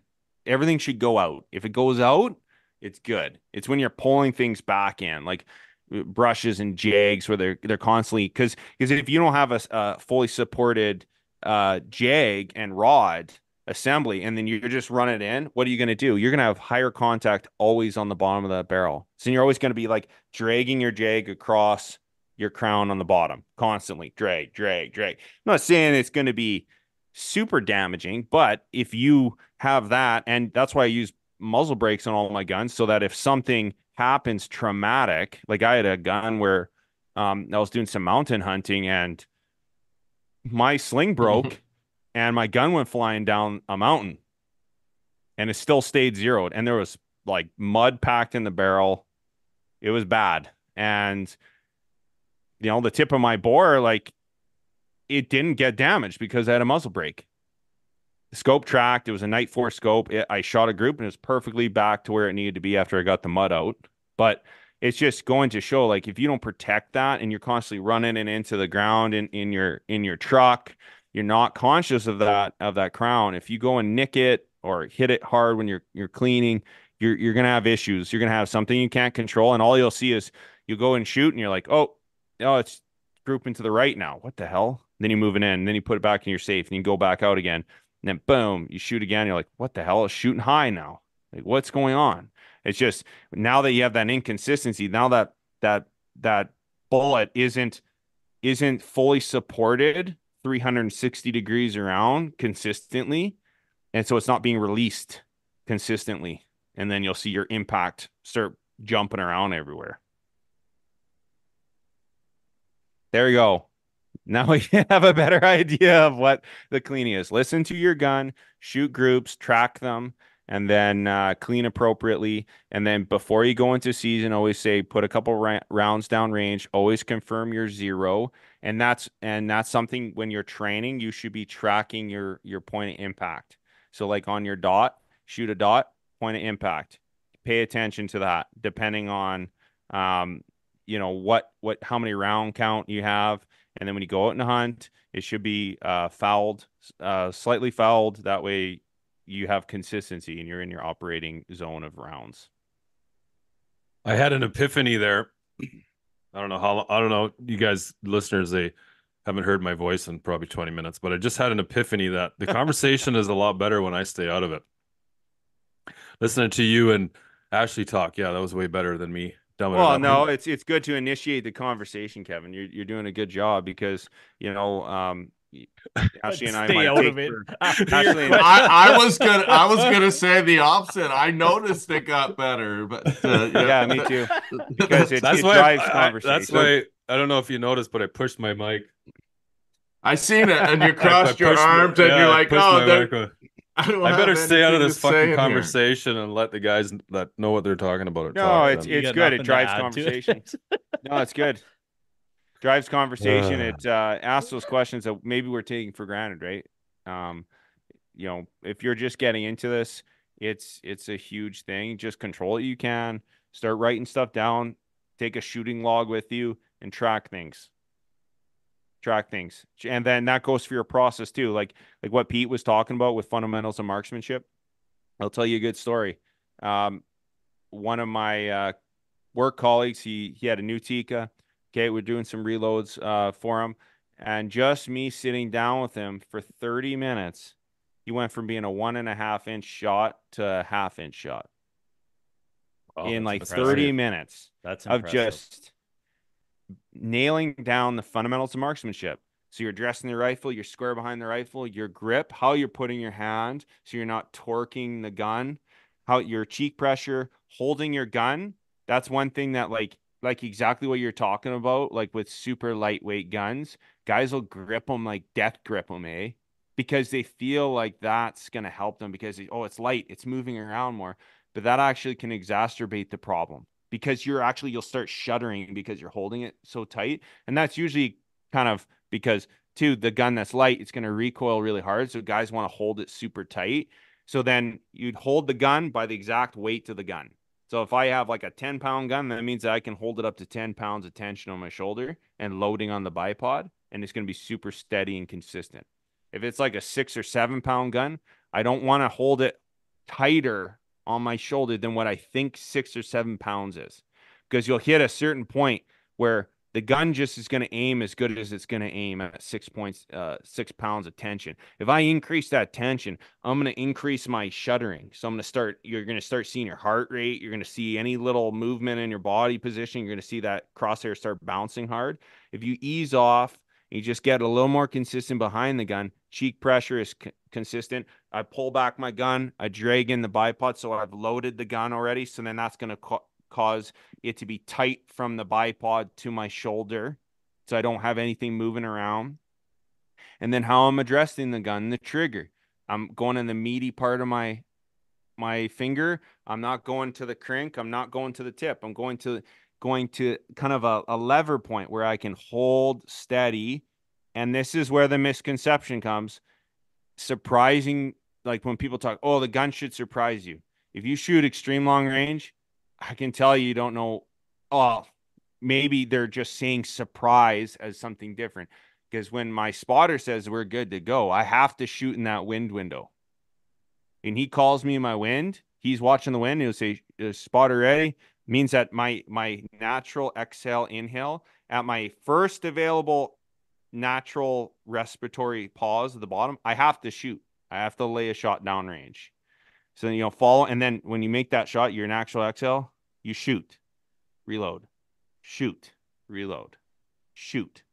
That way, you get into that kind of that rhythm, and you there's because if you hold your breath, you're going to see tunneling, and all of a sudden you're going to your heart rate's going to go up, and then you're going to see tunneling. So just getting into that the ebbs and flow of your natural respiratory pause, and you feel your finger. You you, you should do dry firing before you shoot at the range. I really encourage, like obviously if you're shooting a rim fire, don't do that, but center fires you can, and just get through those motions of okay, it's back to the fundamentals. WTF, wind, trajectory, fundamentals of marksmanship. The wind, I'm paying hmm. attention to wind. I adjust my trajectory. I, I always thought WTF stand for something else. Yeah. Everybody. but it's right. It's we know the wind. We're always while we're out there hunting or shooting, we're always looking at the wind. We know we have a wind meter. We're looking at those natural things around us, like trees moving. Okay, when does that happen? Direction, you know, terrain features, then trajectory. So that's I range. I do my tra- trajectory adjustment, and then fundamentals of marksmanship. Behind the rifle, level my cant, focus on parallax, bob my head to see if it flexes the line on the on the reticle if it's flexing, I gotta tweak my my parallax, and then I address the gun, steady pressure, pull back the gun, lo- load in the bipod, address the hand position, and then finger on the tris- uh, trigger, address the trigger, control my breathing, focus on aiming, and then follow through on the shot. And so, what you should be able to do with your dry fire is you should be able to come to this the right at the point where it's going to break the shot and you should be able to hold it there with nothing happening without you commanding it. And then you just follow through the little extra. So if you have a real light trigger, that's where like people ask for real, really, really light triggers, like 12 ounce triggers. Hmm. I personally don't like that. That's where, that's where like it'd be the difference between like, you know, Pete, what Pete's encounter with all the target shooting he's doing, like guys that take the target to the extreme that doesn't help you in a hunting scenario sometimes that that gets into specialized. Are you referring to like archery or bow? I mean, sorry, archery or Ar- rifle. so rifle is the same so you want to make sure that you don't get so far into like target stuff like you know it's the same thing with the bow i was saying like so like Yeah. huge stabilizers and like so with rifle be like massive bipods liquid head bipods like like bench rest type stuff you want to make sure that it's all centered around what you're going to be doing in the areas you're hunting so you're not like building up a bunch of shit that's going on that's too much to manage because when if you don't have your gear management under control and you you sim so you because initially you'll think oh i got Hmm. my wind meter i have all these tripods i have all these things going on you need to condense and simplify Yeah, So you're not going to be taking that out hunting with you. or it's going to take too long Yeah. to get a shot on a moving animal so that's where you have to make sure that you're always thinking if you're going to use this for hunting that you're always thinking okay so i made that shot at 600 yards how long did it take for me to set up Right. did it take like a minute well that's too long Oh yeah, So you have to Well- think about expediting those shots. yeah. So that's where when you train, So do those? But train the, I, everything the same. Yeah. Do you guys have like long range guns that you won't use for hunting? I don't. They you- just fuck around with? I I that dark rifle I've shot uh two elk and uh like three deer with it and it's 12 11 pounds. So I I don't have any rifles that I don't hunt with simply because I've never really dove down the rabbit hole of 15 pound target guns and and, and gone that way. I've tried to incorporate as much of the technology into a lighter weight hunting rig. So, uh, But that's and the then number one intention is just hunting. Yeah. hunting, hunting for More- sure. And then Yeah. I overtrain, shoot further, so I can hunt at at reasonable ranges effectively, basically. And, know your limits, right? Like cuz Yeah. then you know what your limits are. Then you Yeah. know what's ethical, what's what's uh what's reckless, right? Yeah. And what's and that's the thing, like exactly what Ashley's talking about is yeah, you push the distance, you push the range, but then deep down you know if taking that 700 yard shot in this type of gusty wind conditions, where there's some weird topography where you have an an updraft or thermals as well, you'll you'll you'll know, okay, like yeah, that's a reckless shot. I should get closer. I should do something different. Or if you you've rehearsed and you you do, can't build a, a uh, a shooting position, that's another thing. Then you know damn well how steady you have to be, and you're you're gonna avoid those potential wounding shots or misjudging wind because you know, okay, I can't nail down the wind. It's like we were talking about. I can't nail down the wind. I'm not making that shot. I'm gonna Yeah. have to wait or or move up or do something different. Yeah, yeah shot position's a huge consideration for sure. Sorry, sorry, Kev. Um, a- and, you know, I always thought in the back of my mind, I just I don't want to train with something that's better than what I'm hunting with. I.e., I don't want the extra advantage in my training and then take out a weapon that doesn't have the same level of accuracy and treat it like it does. So Oh, yeah. Well, that that, that's why it's just I use the tools that I'm gonna use, and then I I never have to question myself because uh, and and the shooting position thing just goes without saying. And like we're shooting off these benches all the time, shooting Yeah. out, you know, shooting long distance, shooting out a thousand yards, shooting eight hundred, having great success. But that that it is rare to find uh a, a setup like that. I love shooting prone. Uh, I train shooting prone as well. Um, I think it's essential, but it's it's hard to find those setups in the real world with an animal at that, you know, that your your limit of your range and and just have the perfect setup there. So you're usually having to get closer because you're going to be shooting off your backpack frame, your Yep. you know whatever. Yeah, Yeah. just like with my with my son and his elk. You know, he's a good shooter. He shot out to 1200 uh 1300 yards before, but it was a, it was a, a 300 and 380 350 yard shots um on a bull elk, steep angle to a bench. I had to put my pack down, max a bipod that's like you can shoot almost partially squat sitting, max that out, put it on the pack, take his pack, put it on the butt, make shots, and then the last shot on on the bull to put him down, I had to boost him up partially into a tree. Like Yeah. it's not perfect out there. So Well, you and do the thing too to is line of stuff. line of sight too when you're hunting is Yeah. like, especially when you're shooting a little further distance and compared to archery. When you're archery, you're everything's in close and you're just worried about twigs not interfering with your arrow path. But when you're shooting like a couple hundred yards, you got to worry about line of sight between you know tops of trees and stuff like that as well. So Yeah, it's actually funny you said that because uh, while I was crawling around and I was getting my kid ready, I actually had to do a max ordinate check to make sure that we clear this branch. And I just I I I did it quickly with my reticle where I zeroed it out, made sure I'm super steady, then ran my elevation turret to see if I'm doing a run line to make sure that I'm not going to contact that or you know that he's not going to contact that that on the on the shot trajectory because it Mhm. was you know my max ordinate at the high point of my trajectory to make sure that he can shoot through a window and and actually clear all the sticks. yeah, yeah. Huh. Well, fascinating stuff, boys. As always.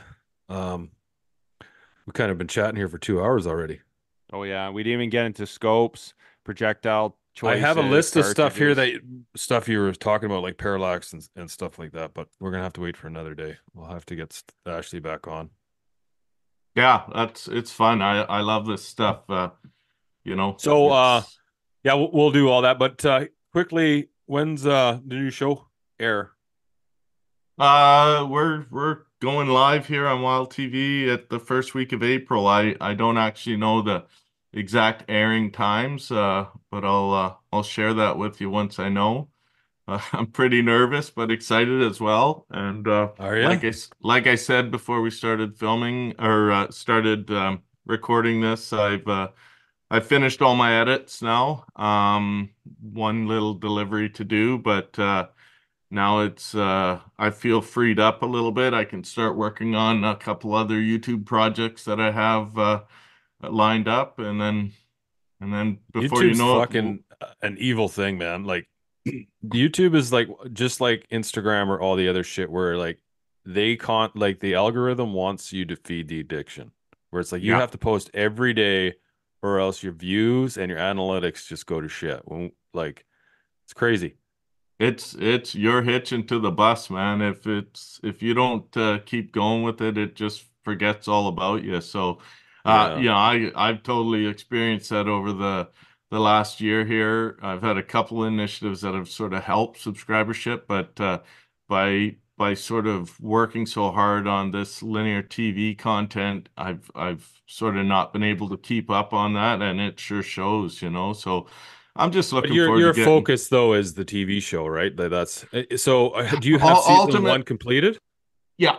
My my focus ultimately, if I'm being honest, is is to is to support you know, is to put content on YouTube and the linear channel or, or on Wild TV. It's just it's just a big challenge. Like like we were talking about, I'm I'm swamped and I sort of had to pick a lane. And because it was a bit of a new world with some technical delivery requirements for my for the the content that I gave Wild TV, I um I just had to, you know, clamp down on that and make sure I delivered.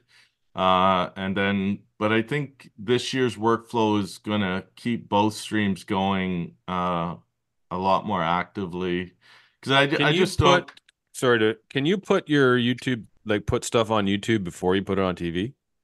I can. Uh, it's it's basically a gentleman's agreement or or a Ah. handshake agreement because I, I think they don't want to hamstring your growth curve on social because ultimately, you know, uh, it's they don't want to be liable for you know slowing you up, so to speak. Just well, it's only going to benefit content. them if you're if your like YouTube channel is bigger, more people are gonna Yeah, yeah. If, they, if they're scrolling through Sportsman Channel or Wild TV and they see, like, if you have a big following on YouTube and they're and they're scrolling through the hunting channels and they see, they're probably gonna stop. Whereas if you didn't, they would just keep going. Yeah, it's and I'm at the beginning stages where I sort of both platforms are going to help boost the other. So so I just want to respect the process because ultimately as as much as they and, and I want to, you know, sh- I I've showed teasers of a few of the hunts for sure, but I ultimately want to show the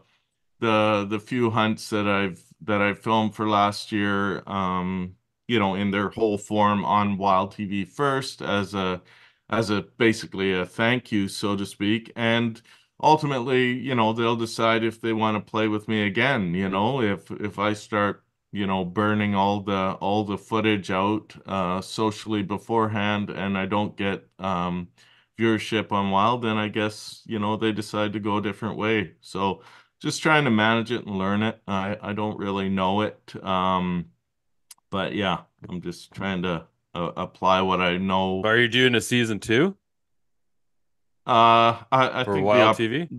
the opportunities there, I believe. Did Um, I just totally put you on the spot? no, not at all. I, I well, I wasn't. I wasn't going to, asshole, but I didn't want to say that. On. but that, that's I don't mind being put on the spot. I mean, the truth is what the truth is. Uh, I haven't signed for it yet. The intent's there. I'm gonna I'm gonna take a hard look at at how this goes. To be honest, and It's a lot so of work. Wild, So will Wild TV. Uh, yeah, I'm Yeah. kind of addicted to it though. Like I really just want to push to learn how to tell stories that are engaging, and uh, Mhm. and I'm not there yet. But I, I there's a story of the resident hunter that I want to tell, and uh, I'm just at the beginning, so I just want to. Well, that's what's pushing. yeah.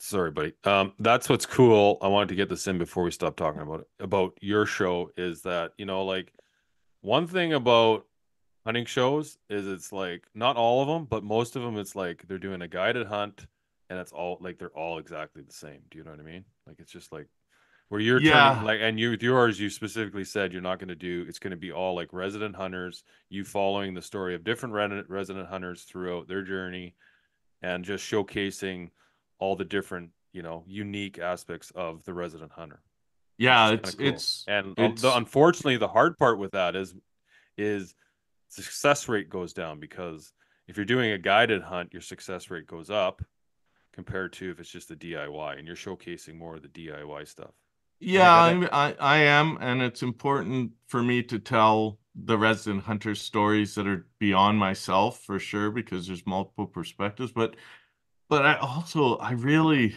I have this crazy fantasy where I think that the story and the struggle of the resident hunter is just as valuable as having guaranteed guided hunts. And I think that the audience today is is more ready for that story than they may have ever been. So I'm gonna More relatable. yeah, More it's, it's like more relatable. every time I watch a, a canned hunting show, uh, so to speak, it, it doesn't it doesn't depict the way I hunt and the way I was brought up hunting. It has elements, sure, there's a harvest there. Uh, you know, there's there are quite a few uh people out on the social platforms and some that are on TV that show a more authentic style of a hunt, and that's what I'm going for. Unfortunately, I wish the world would let me just keep pumping out hiking videos and and calling them hunting films, but you know, na- I- that's I- that's uh that's I got a, my hunt my old hunting buddy and I we call that uh, extreme nature walking. Yeah, uh, we call it hiking with guns. That's uh Yeah. that's that's what uh, my buddy Jesse says. Well, you need to change your channel name to hiking Yeah. with guns. Uh, Yeah. a- and there there's a good st- what it's taught me though. It's it's taught me a, a lot about you know what to film besides hunting. Uh, and then you know we're working really hard. I've got a lot of hunting planned this year and um, a lot of extended trips to to try and get that success even even from the resident perspective because it takes time time and pressure kind of thing so i know what to do it's just trying to do it in two and three day chunks is um is where i've been running into some some trouble there so yeah we've got some extended uh hunts this year which i'm your hoping mule deer your mule deer epi- like the pursuit of your mule deer like that is probably like that could have been a season like all the way up from like Uh, the struggles of like you were going so hard and then it just like crashed and burned at the end whereas like Yeah. normally it's like everyone's waiting to see this epic success and it was Yeah. like it was like opposite no Both. offense Like, Yeah, no, no. fucking crash That's your what- truck I- get stuck in a hotel for two days, like bus home. Yeah, it's uh it you know, I think I think there's a good story there. If I Oh, could fucking for know, sure there is. Like, I- and, but I- that's the reality of that's the reality of like hunting's hard, man. And like Yeah. hunting's not all just like you don't just go out and go hunting for a day or two and go shoot something. Like that's not the reality. Maybe Yeah, on a guided no. hunt you do, but the reality is it's not it's not like that. It's like it's going out, suffering, Grinding. coming home, going back Yeah. out, Yep. getting up early, nothing, coming back. It's just persistence. And like whoever, pers- like, if you go hunt, it's playing the odds. I mean, obviously, the the more you hunt, the better you you you learn a lot of things of what to do and what not to do, and like that makes you a better hunter. But in reality, you still have to go grind it out, put your time in. Even when you you've gone through all this stuff, it's still like I still hunt a lot of days of the year to kill all the animals. Yeah, sure, I punch a lot of tags, but I mean, I also put a shit ton. Like my average isn't very good. If you counted the number of days I put in for the amount of tags I push, it's not that great. Do you know what I mean? So like, but that's the reality of hunting. It's not. it's not easy. It's not like it's persistence. It's like constant work. It's grind. Like Derek said, it's the grind. But that's what's awesome about it. I I do. I love the grind too. I'm I'm savage. Like I got eight terabytes of grind without a kill at the end. Like that. That's what this equates to, know, and that's a lot. Like that's a lot. That's hours and hours. I you know I I think I have probably 15 hours of actual rolling footage from uh the mule deer season Wow. without a kill at the end. So, you know, that 15 hours turns into a three minute segment at the beginning of hopefully next year's successful mule deer hunt. So, you know, the work that it takes to put it into a show that's going to be relatable and digestible is it's it's big, but I'm just I'm as addicted to it as I am to hunting, and I'm pretty darn addicted. So I'd, I'd be Well- curious actually to ask the general public, well, maybe not even the general public, the people who enjoy watching hunting shows, if they, if all they're looking for is that kill shot at the end, because I stopped watching a lot of hunting shows, um, and no particular people, you know, specifically, but it got boring after a while. You go Mhm. out, they go, they got a kill at the end. Be like, fuck off. That's Yeah, not the same stuff. That's well, then that's the thing I was bullshit. talking about on TV. It's always the same. Like not all of Yeah. them. So I'm not like- saying they're all the same, but like a lot of them were structured, and that was kind of like the hip thing to do was to just get a guided hunt, show a little tiny bit of this, and Yeah. then show like two third a third of it is like the kill shot, and like that's it. Unless like okay, well, how many times can you fucking watch that? It's the same over and over and over and over. But I want to that- see the struggles. I want to see you not be able to get that shot. I want to see your miss because that's freaking reality. And I'm I'm more apt to watch that in the whole process. You know, as long as it's entertaining. Obviously, it's you you Yeah. have to somehow keep me attracted to you know what's happening next. What's happening next? I don't. The kill's great at the end if it happens, but I want to watch. You know, the you you had some excitement. That's for damn sure. Um, but you know what I mean. That's that's the part. You know, Yeah, because any any keeps me coming experienced hunter knows that in between is where uh, the killing's done. That's Oh, where yeah, the success is. It's not it's not necessarily right at the end or like if it just happened quick. I always think I'm like, well, it's not luck, but there is an element of that. To me, I'm always looking for learning something from someone else, whether that's motivation, discipline, techniques, keeping your head in the game because you don't know if that opportunity is going to come in the first 15 minutes or it could be in the last 15 minutes when you're the most fatigued where you're you're going in the deepest you were because you didn't have success on the on the the quick easy hunts and you're going farther in there than before and you have more more pressure on you because you're running out of time that's that's where i'm always interested in seeing what people are doing. That's that is hunting.